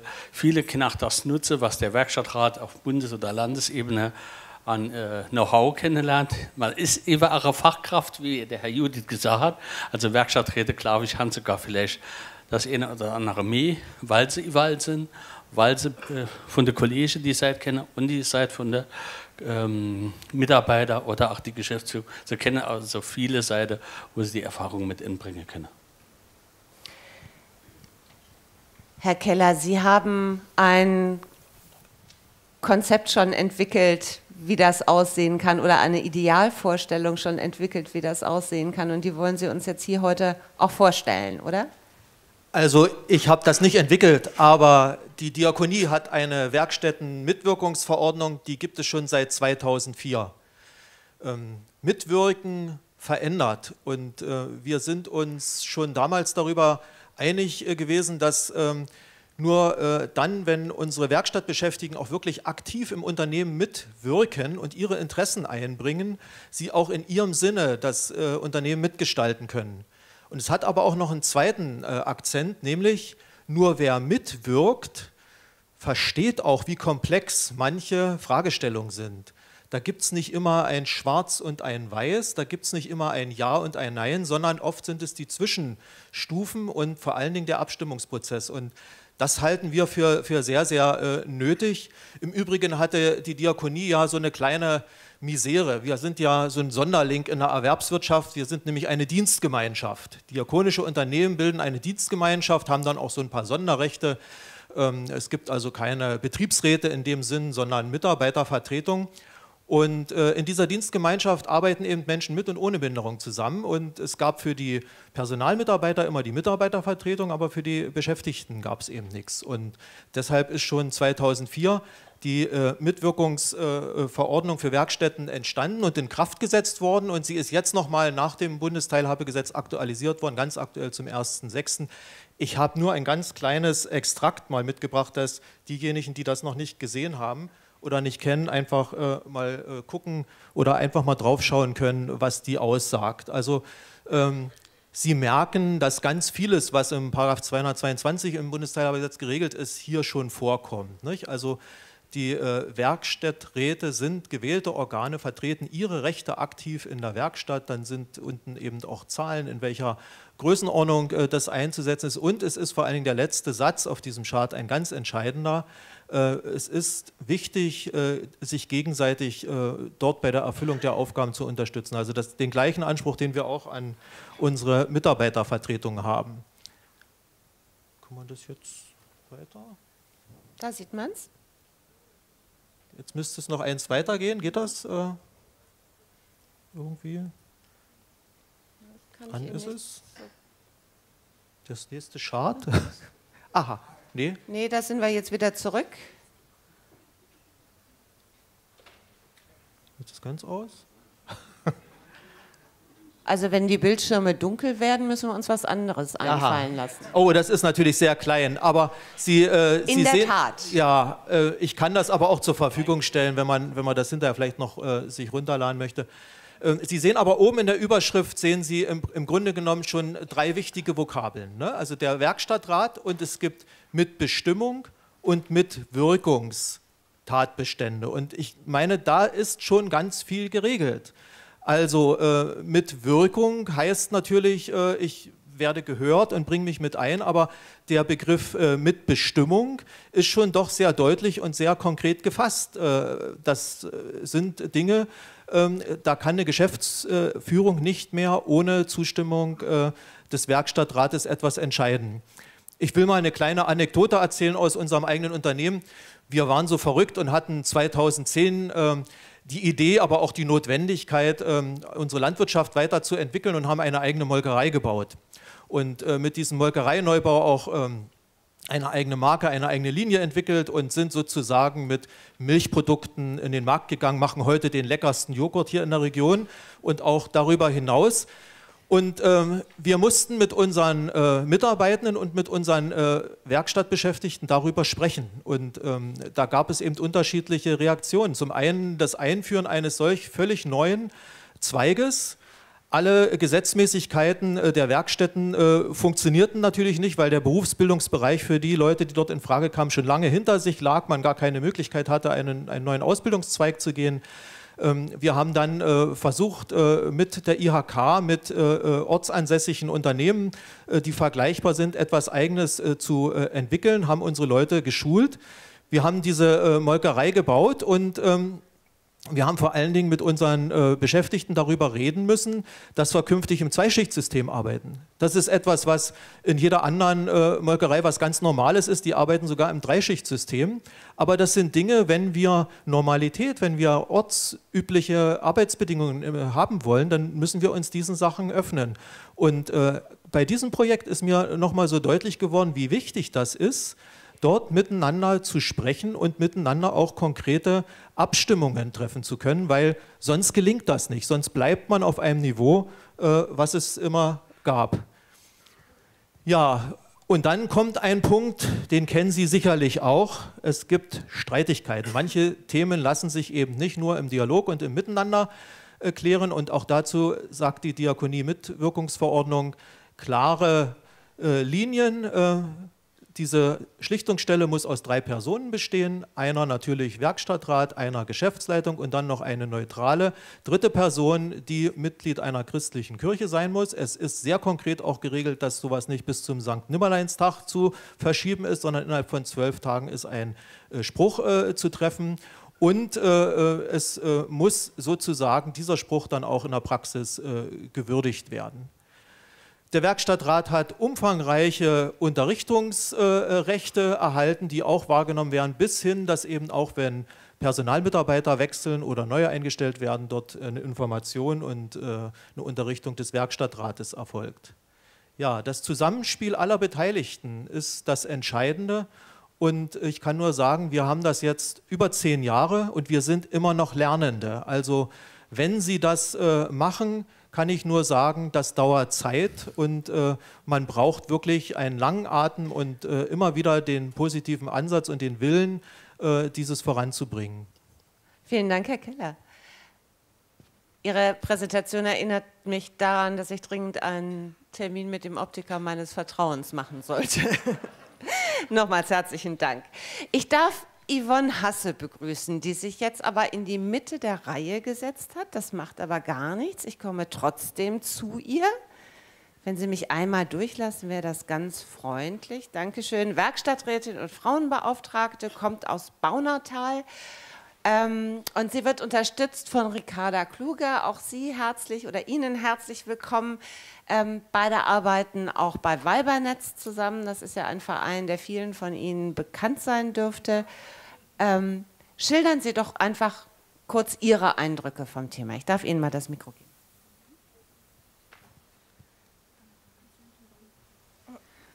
Genau. Ähm, Yvonne, warum sind denn Frauenbeauftragte eigentlich wichtig? Frauen werden oft benachteiligt. Das gilt auch für Frauen in Werkstätten. Sie bekommen zum Beispiel weniger Geld als Männer. Frauen werden oft nicht ernst genommen und sie können nicht, oft nicht selbst über ihr Leben bestimmen. Frauen erleben oft Gewalt. Genau. Jetzt haben wir ja die ähm, glückliche Situation, dass die Frauenbeauftragten in der WMVO festgeschrieben sind. Meine Frage wäre übrigens, ob sie in der Diakonie, diakonischen Werkstättenmitwirkungsverordnung auch stehen. Ähm, Sehr gut. Ähm, Yvonne, du hast, ähm, es gibt ganz viele Infos in der WMVO zur Arbeit der Frauenbeauftragten. Das ist ja ein ganz neues Thema. Du hast ganz schnell die wichtigsten Punkte zusammengetragen. Jede Werkstatt muss eine Frauenbeauftragte haben. Die Frauenbeauftragte kann bis zu drei Stellvertreterinnen haben. Das hängt ganz von der Größe der Werkstatt ab. Die Frauenbeauftragte müssen für ihre Arbeit freigestellt werden. In Werkstätten kann die Frauenbeauftragte sogar eine volle Freistellung bekommen. Jede Frauenbeauftragte hat das Recht auf eine Unterstützerin. Die Frauenbeauftragte darf sich ihr, die Unterstützerin selbst aussuchen. Die Frauenbeauftragte muss gut mit dem Werkstattrat zusammenarbeiten. Die Frauenbeauftragte darf bei Sitzungen dabei sein. Die Frauenbeauftragte muss gut mit dem, der Werkstattleitung zusammenarbeiten. Die Werkstattleitung muss mindestens einmal im Monat eine Besprechung mit der Frauenbeauftragten machen. Die Frauenbeauftragte muss alle wichtigen Infos bekommen. Bei Problemen mit der Werkstattleitung kann die Frauenbeauftragte eine Vermittlungsstelle dazu holen. Genau, das vielleicht ganz kurz. In der WMVO stehen noch sehr viel mehr Informationen. Ich verweise da auf die tolle Broschüre von Werkstatträte Deutschland, ähm, die die wichtigsten Informationen in leichter Sprache zusammengestellt haben. Genau, Frauenbeauftragte sind ganz neu in den Werkstätten und jetzt ist die spannende Frage, wie kann es umgesetzt werden in der Praxis und wie können die Frauen tatsächlich auch Arbeitsbedingungen bekommen, ähm, dass sie ihr Amt auch wahrnehmen können für die Frauen. Das werden wir ganz genau beobachten und ähm, auch mit, mit den Frauen in Austausch bleiben und ähm, genau alle, allen Frauen Mut machen und wir würden gerne mit ihnen gemeinsam ein starkes Netzwerk für Frauenbeauftragte aufbauen. Vielen Dank, Yvonne Hasse und Ricarda Kluge. Vielen, vielen Dank. Ich habe schon eine erste Frage gesehen und schleiche mich mal von hinten an. Versuche auf keine Füße zu treten. Dankeschön. Wenn Sie sich kurz vorstellen. Ich halte das Mikro für Sie fest. Danke. Äh, ich bin Marita Altschede, komme aus Lübecker Werkstätten und ich habe die Frage, äh, bei die Frauenbeauftragte ist das äh, regelmäßig bei den Werkstatträten, dass die zusammensitzen. Und ich bin ja auch in der LAG tätig. Ist das auch möglich, ob die dann auch regelmäßig zusammensetzen, wenn wir ein Treffen haben? Wer mag diese Frage beantworten? Also ich glaube, es ist ja klar geregelt, dass äh, die Frauenbeauftragten in den Werkstätten äh, an den Sitzungen des Werkstattrates teilnehmen sollen. Ähm, und ich glaube, auch auf LAG und BAG-Ebene müssen wir es organisieren. Äh, ich weiß nicht, ob es da erste Gedanken schon beim Werkstatträten in Deutschland gibt. Ähm, ich will aber noch auf einen Aspekt äh, hinweisen, äh, was die Frauenbeauftragten betrifft. Es ist natürlich sehr gut, dass das mit aufgenommen worden ist in das Gesetz. Ähm, nur wir hatten sofort in der Werkstatt die Diskussion, was äh, denn mit den anderen benachteiligten Gruppen äh, der, äh, ist, wie die vertreten werden. Also die Gruppen der Schwulen und Lesben und sonstiger benachteiligter Gruppen. Und äh, wir haben, wir werden natürlich in der USE eine Fra Frauenbeauftragte wählen, aber wir haben uns entschieden, ein inklusives Gleichstellungsteam zu bilden aus Menschen mit und ohne Behinderungen, die all diese Personengruppen vertreten, ähm, weil wir glauben, dass das äh, zu kurz gesprungen ist.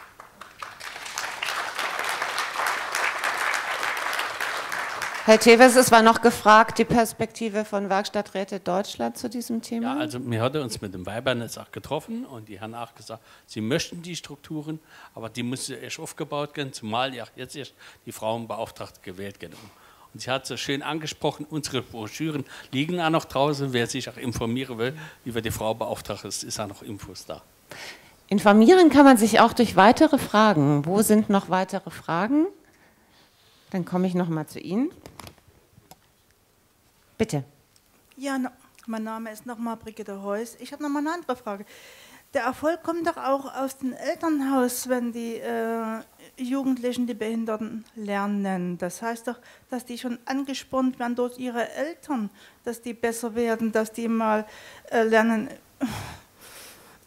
das alles zu begreifen. Also mehr Förderung zu Hause. Ja. Okay. Herr Keller. Ja, also das wäre ein Glücksumstand, wenn es so wäre. Leider ist es nicht in allen Elternhäusern so. Aber Sie haben natürlich in einem Punkt äh, vollkommen recht. Äh, es reicht nicht nur äh, in, der, in der Werkstatt diese Bildung anzubieten, sondern es ist ein, eine gesellschaftliche Aufgabe. Und das geht im Schulsystem los, das geht aber auch äh, in äh, zusätzlichen Angeboten, die man äh, wahrnehmen kann nach der Arbeit weiter. Und natürlich im Idealfall ist es so, dass es vom Elternhaus auch befördert wird. Die nächste Frage bitte von Ihnen. Also ich bin der Mirko aus Cottbus, äh, Werkstattvorsitzender und Splittervorsitzender Landesarbeitsgemeinschaft Brandenburg. Meine Frage wäre, wer finanziert denn die Frauenbeauftragte denn, wenn in den Werkstätten, die muss ja erst geschult werden? Das sind jetzt unsere Fragen, ja. Die Frage nach der Finanzierung. Naja, zu Brandenburg kann ich sagen, dass es da ja vom Land Unterstützung gab. Das Land hat ja diesbezüglich Mittel zur Verfügung gestellt, dass es äh, dort eine Ausbildung gibt. Äh, äh von, insofern ist, sage ich mal, der Anschub äh, äh, gegeben. Aber nachher ist auch die Frauenbeauftragte wie eben der Werkstattrat Bestandteil der Werkstatt, Organ der Werkstatt. Und ähm, es wird ja auch nicht gefragt, wer finanziert die Geschäftsleitung oder wer finanziert die Mitarbeitervertretung, sondern das ist eine Aufgabe, die gehört zum Unternehmen und das sind unternehmensübliche Kosten, äh, die auch äh, dann äh, mit dem Kostenträger abzustimmen sind. Bitte. Ja, ist aber doch ein Vertreter von Barcus und von der BAG, äh, nicht BAG, äh, BMA ist da, die können es vielleicht auch genauer sagen. Wo denn? Der Shell ist da zum Beispiel. Ah, okay. Barkis müsste auch noch einer da sein.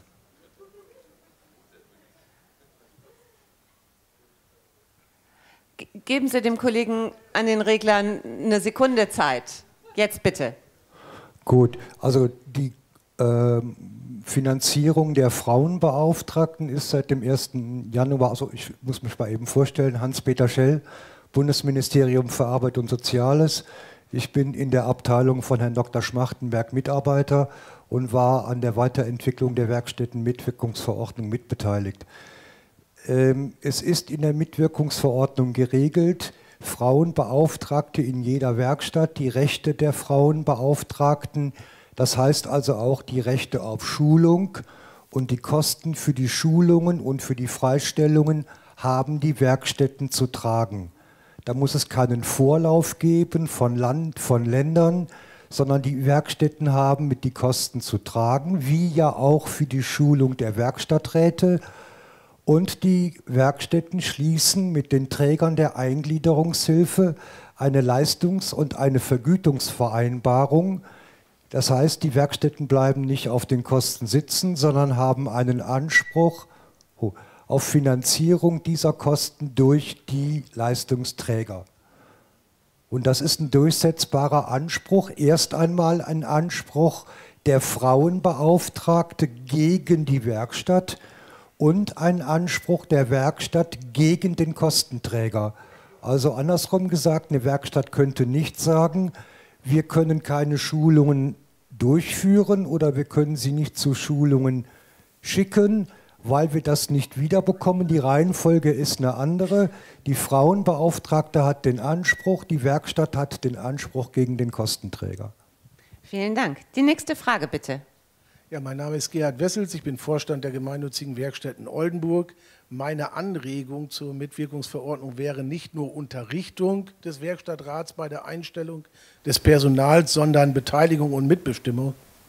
Und also wir machen das seit Jahren und haben da nur gute Erfahrungen mit. Und ich würde mal gerne hören, wie die Kollegen, aber auch Herr Schummer zu diesem Thema stehen. Bitte. Äh, ich finde das Thema gut. Wir diskutieren das mit äh, unserem Werkstattrat auch, wie wir das jetzt strukturell umsetzen. Ähm, da ist wieder so ein bisschen das Thema, wie unterstützen wir Werkstätten, dass sie ihre Rechte da auch durchsetzen können. Äh, bin da völlig bei Ihnen. Äh, wir haben es aber noch nicht vollumfänglich umgesetzt bei uns. Ähm, und äh, würde mir aber eben auch wünschen, dass diese Themen verbindlich geregelt werden, damit diese Diskussionen endlich aufhören. Eben wurde, eben wurde ja auch gesagt. Sekunde warten, dann ist das Mikro auch offen. Zwei, ja, jetzt ist es da. Es wurde ja eben sehr gut formuliert, äh, Nachgesetz ist vor dem Gesetz. Und das ist der Grund, weshalb wir hier beieinander sind. Wir haben jetzt beim Bundesteilhabegesetz, das den Prozess starten soll, haben wir einen Schwerpunkt gelegt auf äh, bestimmte Themen, die Stärkung auch der Schwerbehindertenvertretungen in den Betrieben, beispielsweise in der Stärkung der Werkstätten, der Werkstatträte, die Frauenbeauftragten einzuführen nach einem Modell jetzt flächendeckend. Das war uns wichtig, Mitbestimmung bei den Einkünften in den Werkstätten dann auch durchzusetzen und andere Themen, die auch hier eben wie Budget für Arbeit, äh, Beratung. Aber wir sammeln jetzt im Grunde für das nächste Kapitel des Bundesteilhabegesetzes. Wie können wir dann das Recht auch der Werkstatträte weiterentwickeln und dann auch konkretisieren? Und wenn die Verbände nicht die, die Träger der Werkstätten da auch behilflich sind, so wie bei der Diakonie ja auch gute Vorbilder offenkundig entwickelt wurden in der Vergangenheit, dann werden wir das in der nächsten Legislaturperiode konkretisieren und weiterentwickeln. Deshalb sind wir heute miteinander zusammen. Ich glaube, daraus ergeht ein klarer Arbeitsauftrag. Die nächste Frage bitte. Ich halte es für Sie fest. Also mein Name ist Thorsten Schäffler, ich komme aus äh, Schleswig-Holstein und meine Frage ist eigentlich, es wird hier von Frauenbeauftragte geredet. Jetzt äh, ist bei uns in der Werkstatt das, äh, also das Rätsel, äh, wir sind hier mehrere Außengruppen. Also wir haben sehr viele Außengruppen. Äh, jetzt ist das Problem, äh, wenn wir jetzt nur eine Auf Frauenbeauftragte haben, ist sie dann für die ganzen, ja, das ist aber schlecht. Also, wie soll sie das an einem Tag schaffen, wenn mehrere äh, Probleme aufeinander kommen? Ja. Also, also erstmal würde ich mir natürlich wünschen, dass die Probleme nicht so groß sind, dass die Frauenbeauftragte an einem Tag an mehreren Orten sein muss. Ähm, aber äh, ich hatte ja vorhin schon gesagt, äh, für mich greift das Thema eine Frauenbeauftragte in einer Werkstatt äh, ein bisschen zu kurz. Äh, wir versuchen das mit einem Gleichstellungsteam zu lösen, äh, mit äh, vier Personen, zwei Menschen mit und zwei ohne Behinderung, also inklusiv und hoffen, dass wir darüber dann auch mehr Power haben, Probleme, die da sind, dann entsprechend auch zeitnah lösen zu können. Ist ein Vorschlag, mit dem Sie was anfangen können? Gut, wunderbar. Ich muss mal die Seite wechseln, sonst werde ich nachher geschimpft, weil ich mich nur auf der ja, einen Seite noch, äh, aufgehalten habe. Ja, Bitte schön. Ich wollte da noch was vorhin sagen. Also mit dem, äh, es gibt auch gute Werkstätten, wo Werkstatträder auch mehr zu sagen haben, wie in der WMVO. Also die, äh, zum Beispiel auch in Sindelfingen gibt es eine, da hat der Werkstattrat überall Mitspracherecht und es ist nicht, dass sie wirtschaftlich bankrott gegangen sind oder sonst was. Also sie haben nachher Vorteile nutzen können. So. Jetzt bin ich hierher gekommen und jetzt ist hier keine Frage. Das finde ich aber enttäuschend. Dann gehe ich wieder. Ja, ich würde dann vielleicht auch noch mal einen Satz zu Ihrer Frage sagen mit äh, der Zergliederung. Das geht uns in Brandenburg auch so. Wir haben elf Betriebsstätten äh, und äh, dort ist es eben so, da kann man gar nicht überall äh, eine Frauenbeauftragte haben. Also eine Frauenbeauftragte, die sozusagen diese Interessen noch mal bündelt. Äh, die Diakonie-Werkstättenmitwirkungsverordnung sagt, dass äh, jede separate Werkstatt in jedem Fall auch einen Vertreter zu entsenden hat. Und es ist auch bei besonderen Personengruppen von dieser besonderen Personengruppe ein Vertreter mit zu entsenden. Also zum Beispiel eine Werkstatt mit überwiegend psychisch behinderten äh, Menschen hat eben dann auch einen extra Vertreter. Und es ist dann schon eine recht bunt gemischte äh, Truppe, dieser Werkstattrat. Nicht? Neun äh, Vertreter sind das bei uns. Und äh, wir lernen äh, gemeinsam, äh, wie bestimmte Sachen dann auch abgestimmt werden. Und da ist es äh, dann auch eine äh, Frage des äh, Einübens, wie man diese wichtigen Themen, die aus unterschiedlicher Sicht ja immer auch Priorität haben, so miteinander abstimmt, dass dann ein gemeinsames Ganzes rauskommt. Eine Wortmeldung aus der Mitte. Ja, Hubert Tüppe, Bundestagsabgeordneter. Ich hatte noch mal eine Frage an Herrn Teves. Was machen Sie wenn Sie was nicht durchgesetzt bekommen. Also wenn die Werkstatt sagt, ja, ist ja schön, dass du das forderst oder Sie das fordern, aber machen wir trotzdem nicht. Was machen Sie dann? Also ich bin ja nicht auf den Mund gefallen und ich glaube auch, dass ich meistens durchkriege. Aber äh, sollte der Fall nicht sein, es gibt ja auch noch seit neuerem eine Schlichtungsstelle, die bindend ist. Vielleicht kann der Herr Schmaus noch zu der. Aber hier stand ja gerade nicht, dass es bindend ist, sondern die ist zu berücksichtigen. Das heißt, glaube ich nicht, dass das rechtsverbindlich ist. Das heißt, wenn die jetzt trotzdem ist, vielleicht sind ja nicht alle Kollegen so gut äh, mit dem Mundwerk wie Sie. Gibt es bei uns auch unterschiedliche Talente. Und jetzt könnte es ja mal sein, dass jemand sagt, so, das klappt alles nicht und ich fühle mich von allen überfahren und äh, so. Und jetzt möchte ich das trotzdem machen. Äh, und da habe ich ja ein Mitbestimmungsrecht, so stand es jetzt links. An wen kann ich mich wenden? Ich kann ja nicht vor Gericht gehen oder so, sondern an wen würden Sie sich dann wenden oder was würden Sie Ihren Kollegen sagen? Also er kann sich an die Kollegen bei der LAG, der Werkstatträte bin, fragen, beziehungsweise bei der äh, Werkstatträte Deutschland. Und mir würden Versuche zu helfen, ja. Mir wird auch wahrscheinlich eine Einigung mit der BRG vielleicht auch finden. Bitte, Herr Sperlich. Und dann haben wir hier nochmal Fachexpertise aus dem Arbeitsministerium. Äh, ja, Arbeitsministerium, Entschuldigung. Also da vielleicht noch ein Hinweis für die politische Arbeit für in der nächsten Legislatur. Äh, es wäre halt schön, an der Stelle auch die Rolle und Funktion der Vertrauensleute zu stärken. Äh, weil ich glaube, die können da eine ganz wichtige Rolle in der Unterstützung der Werkstatträte spielen, sind aber ja häufig, auch wenn jetzt externe Vertrauensleute äh, genommen werden können, ja häufig selbst Mitarbeiter der Werkstatt und sind auch oft wie Betriebsräte auch in so einem Interessenkonflikt. Also die Position der Vertrauensleute da zu stärken und das wäre, glaube ich, gut, um diese Interessen dann letztendlich auch noch besser durchsetzen zu können. Und im Übrigen glaube ich schon, dass man es auch vor Arbeitsgerichten verhandeln lassen kann. Bitte schön, ich kann das Mikro für Sie halten, dann haben Sie beide Hände für den Text. Nehmen Sie das nicht so nahe. Okay, also ich möchte mal eine Sache ganz klarstellen, dass äh, der, das, äh, das Wesentliche, das wesentlich Neue an der Werkstättenmitwirkungsverordnung ist, dass in den Angelegenheiten der Mitbestimmung nicht etwa die Vermittlungsstelle zu berücksichtigen ist, sondern die Vermittlungsstelle abschließend entscheidet. Dann hat sich die Werkstatt auch an das Votum der Vermittlungsstelle in Fällen zu halten, wo es ihr nicht gefallen würde. Sicherlich kann die Werkstatt, ich weiß es nicht, wie es bei der Diakonie ist, ob die Diakonie da weiterhin vorbildlich ist, ähm, wie in der Vergangenheit, Sowohl die Werkstatt als auch der Werkstattrat können gegen eine Entscheidung der Vermittlungsstelle, die ihnen nicht angenehm ist, natürlich seit 1996 eigentlich schon, aber da gab es ja nur die Mitwirkung, die Arbeitsgerichte anrufen. Und die Arbeitsgerichte sind in den Angelegenheiten der Mitwirkung im Beschlussverfahren zuständig. Die Werkstatträte haben die gleichen Rechte wie Betriebs- und Personalräte in den Betrieben, nämlich die Arbeitsgerichte anzurufen. Da muss man also nicht den Kollegen von der LAG um Hilfe bitten. Das wäre der falsche Rechtsweg. Möglicherweise ist dann auch die Frist abgelaufen, innerhalb der einer, eine Klage beim Arbeitsgericht erhoben werden müsste.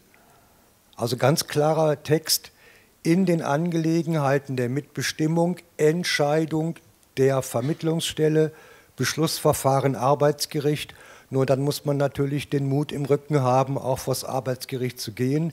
Selbst wenn man dann immer wieder hört, wir sehen uns ja noch mal wieder, wir müssen ja auch künftig noch zusammenarbeiten. Den Mut kann der Gesetzgeber nicht nehmen.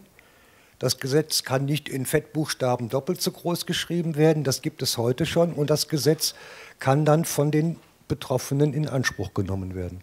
Aber wir müssen an dieser Stelle ja nicht vor Gericht, sondern wir haben ja Jürgen Tevis. Herr Tevis, lassen Sie es uns doch noch mal ein bisschen konkreter machen, wenn Sie sagen, Sie sind nicht schlecht zu Fuß mit dem, mit dem Mund. Ähm, was haben Sie denn durchgesetzt oder was haben Sie erstritten? Wo gab es eine Situation, wo Sie gesagt haben, ach, jetzt muss ich aber mal ran? Also wir haben einige Vereinbarungen, die wohl nicht in der WMVO stehen, die wir schon im Voraus gemacht haben. Äh, viele Sachen vor Ort, wo wo wir schon, äh, wo jetzt erst kommen sind. Also Idee auch viel, wo die Werkstatt spezifisch sind. Ja, außerdem kann man ja auch die Schlichtungsstelle, zum Beispiel der Elternbeirat, vorschlagen. Der wird die Firma nicht ablehnen und der steht bestimmt auf der Seite des Werkstattrates. Also weil es um ihre Kinder geht. Also wo ist denn da ein Nachteil dadurch? Ja. Gibt es noch weitere Fragen? Dann komme ich noch mal zu Ihnen. Auch die können Sie gerne machen, wenn ich mit dem Mikrofon bei Ihnen bin. Ich habe eine Anmerkung, was der Bundestagsabgeordnete Uwe Schumann zweimal gesagt hat. Mein Name ist Helmut Ratzlaff. Ich bin Mitglied der, des CDU-Kreisverbandes Berlin-Mitte und des Evangelischen Arbeitskreises der CDU-CSU seit einigen Jahren. Es ist ja auch eine Veranstaltung der CDU-CSU-Bundestagsfraktion.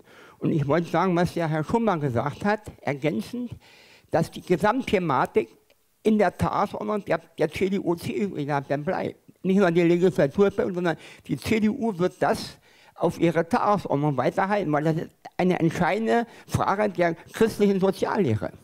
Da hat die halt schon mal ein Buch mal drüber rausgegeben vor einiger Zeit. Vielen Dank für diese Anmerkung. Dankeschön. Meine Herren, wenn ich Sie jetzt noch mal zum Schluss dieser Runde nach Ihren Wünschen frage. Was wünschen Sie sich bezogen auf unser Thema in diesem dritten Forum? Ja, ich glaube, ich habe es ja schon in meinem Eingangs Eingangsstatement gesagt und bin ja froh, dass äh, die Bundestagsabgeordneten gesagt haben, nach dem Gesetz ist vor dem Gesetz. Also ich glaube, wir haben da viel weiter zu entwickeln, zu konkretisieren.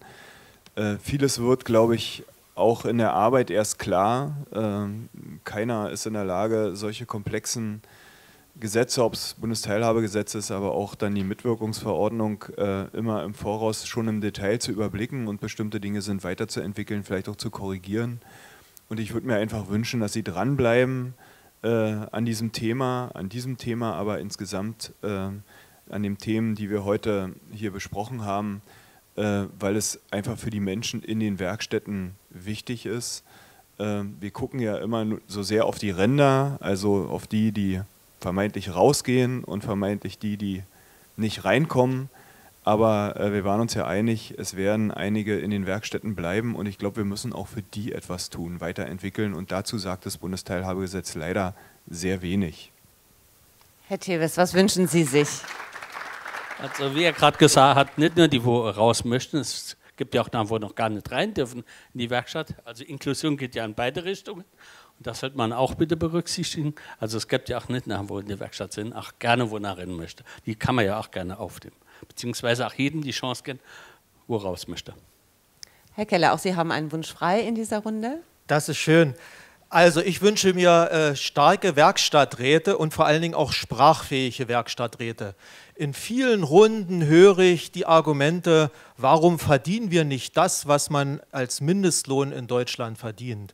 Und wenn wir über die Weiterentwicklung des Bundesteilhabegesetzes nachdenken, dann wird das auch eine zentrale Frage sein, die wir den Menschen in unserem Land beantworten müssen. Und dazu brauchen wir vor allen Dingen in den Werkstätten und in den Werkstattleitungen starke Beschäftigtenvertretungen, starke und sprachfähige Gremien, die das formulieren und unterstützen.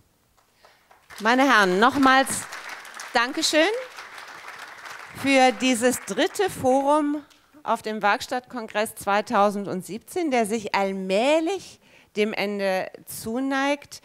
Es ist Zeit für das Schlusswort und das kommt heute von Astrid Freudenstein, Bundestags Bundestagsabgeordnete und Mitglied im Ausschuss für Arbeit und Soziales. Bitte schön.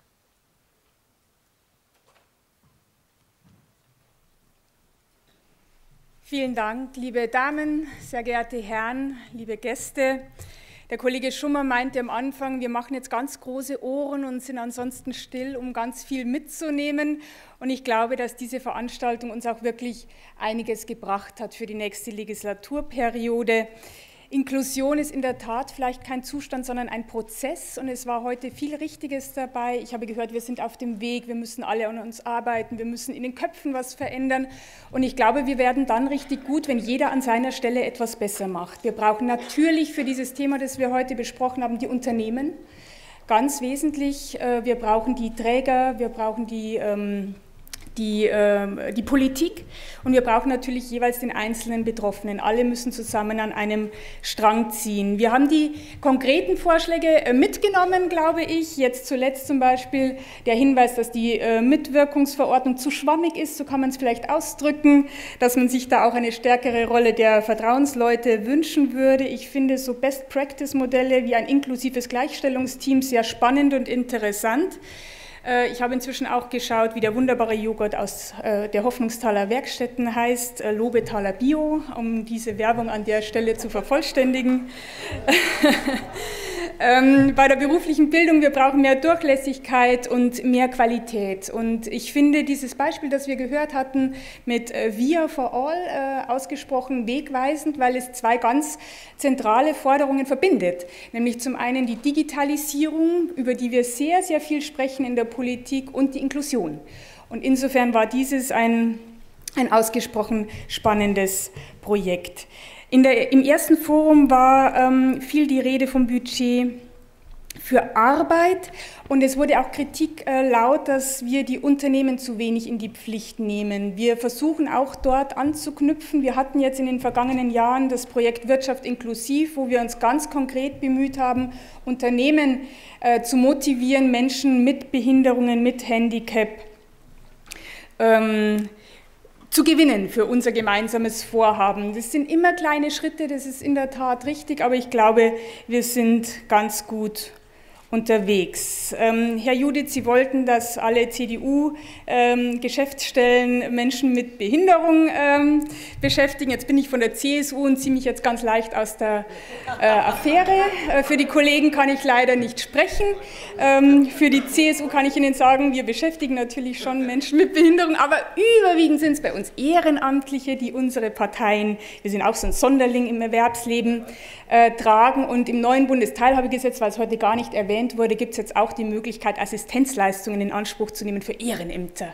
Und das kann man auch in Parteien ähm, in Parteien verwirklichen zum Beispiel. Da würden wir uns in der Tat freuen, weil man natürlich auch die Mitwirkung von äh, Betroffenen braucht, um politisch etwas voranzubringen. Ich möchte mich bedanken bei Frau Welti für die lebhafte Moderation der Veranstaltung, bei den Mitarbeiterinnen und Mitarbeitern der Fraktion, die diese große Veranstaltung auf die Beine gestellt haben, bei allen, die heute mitdiskutiert haben und bei Ihnen, liebe Gäste, die Sie gekommen sind nach Berlin. Ich wünsche Ihnen entweder noch schöne Tage hier in Berlin bei strahlendem Sonnenschein oder eine gute Heimreise. Kommen Sie gesund wieder daheim an. Ich danke Ihnen.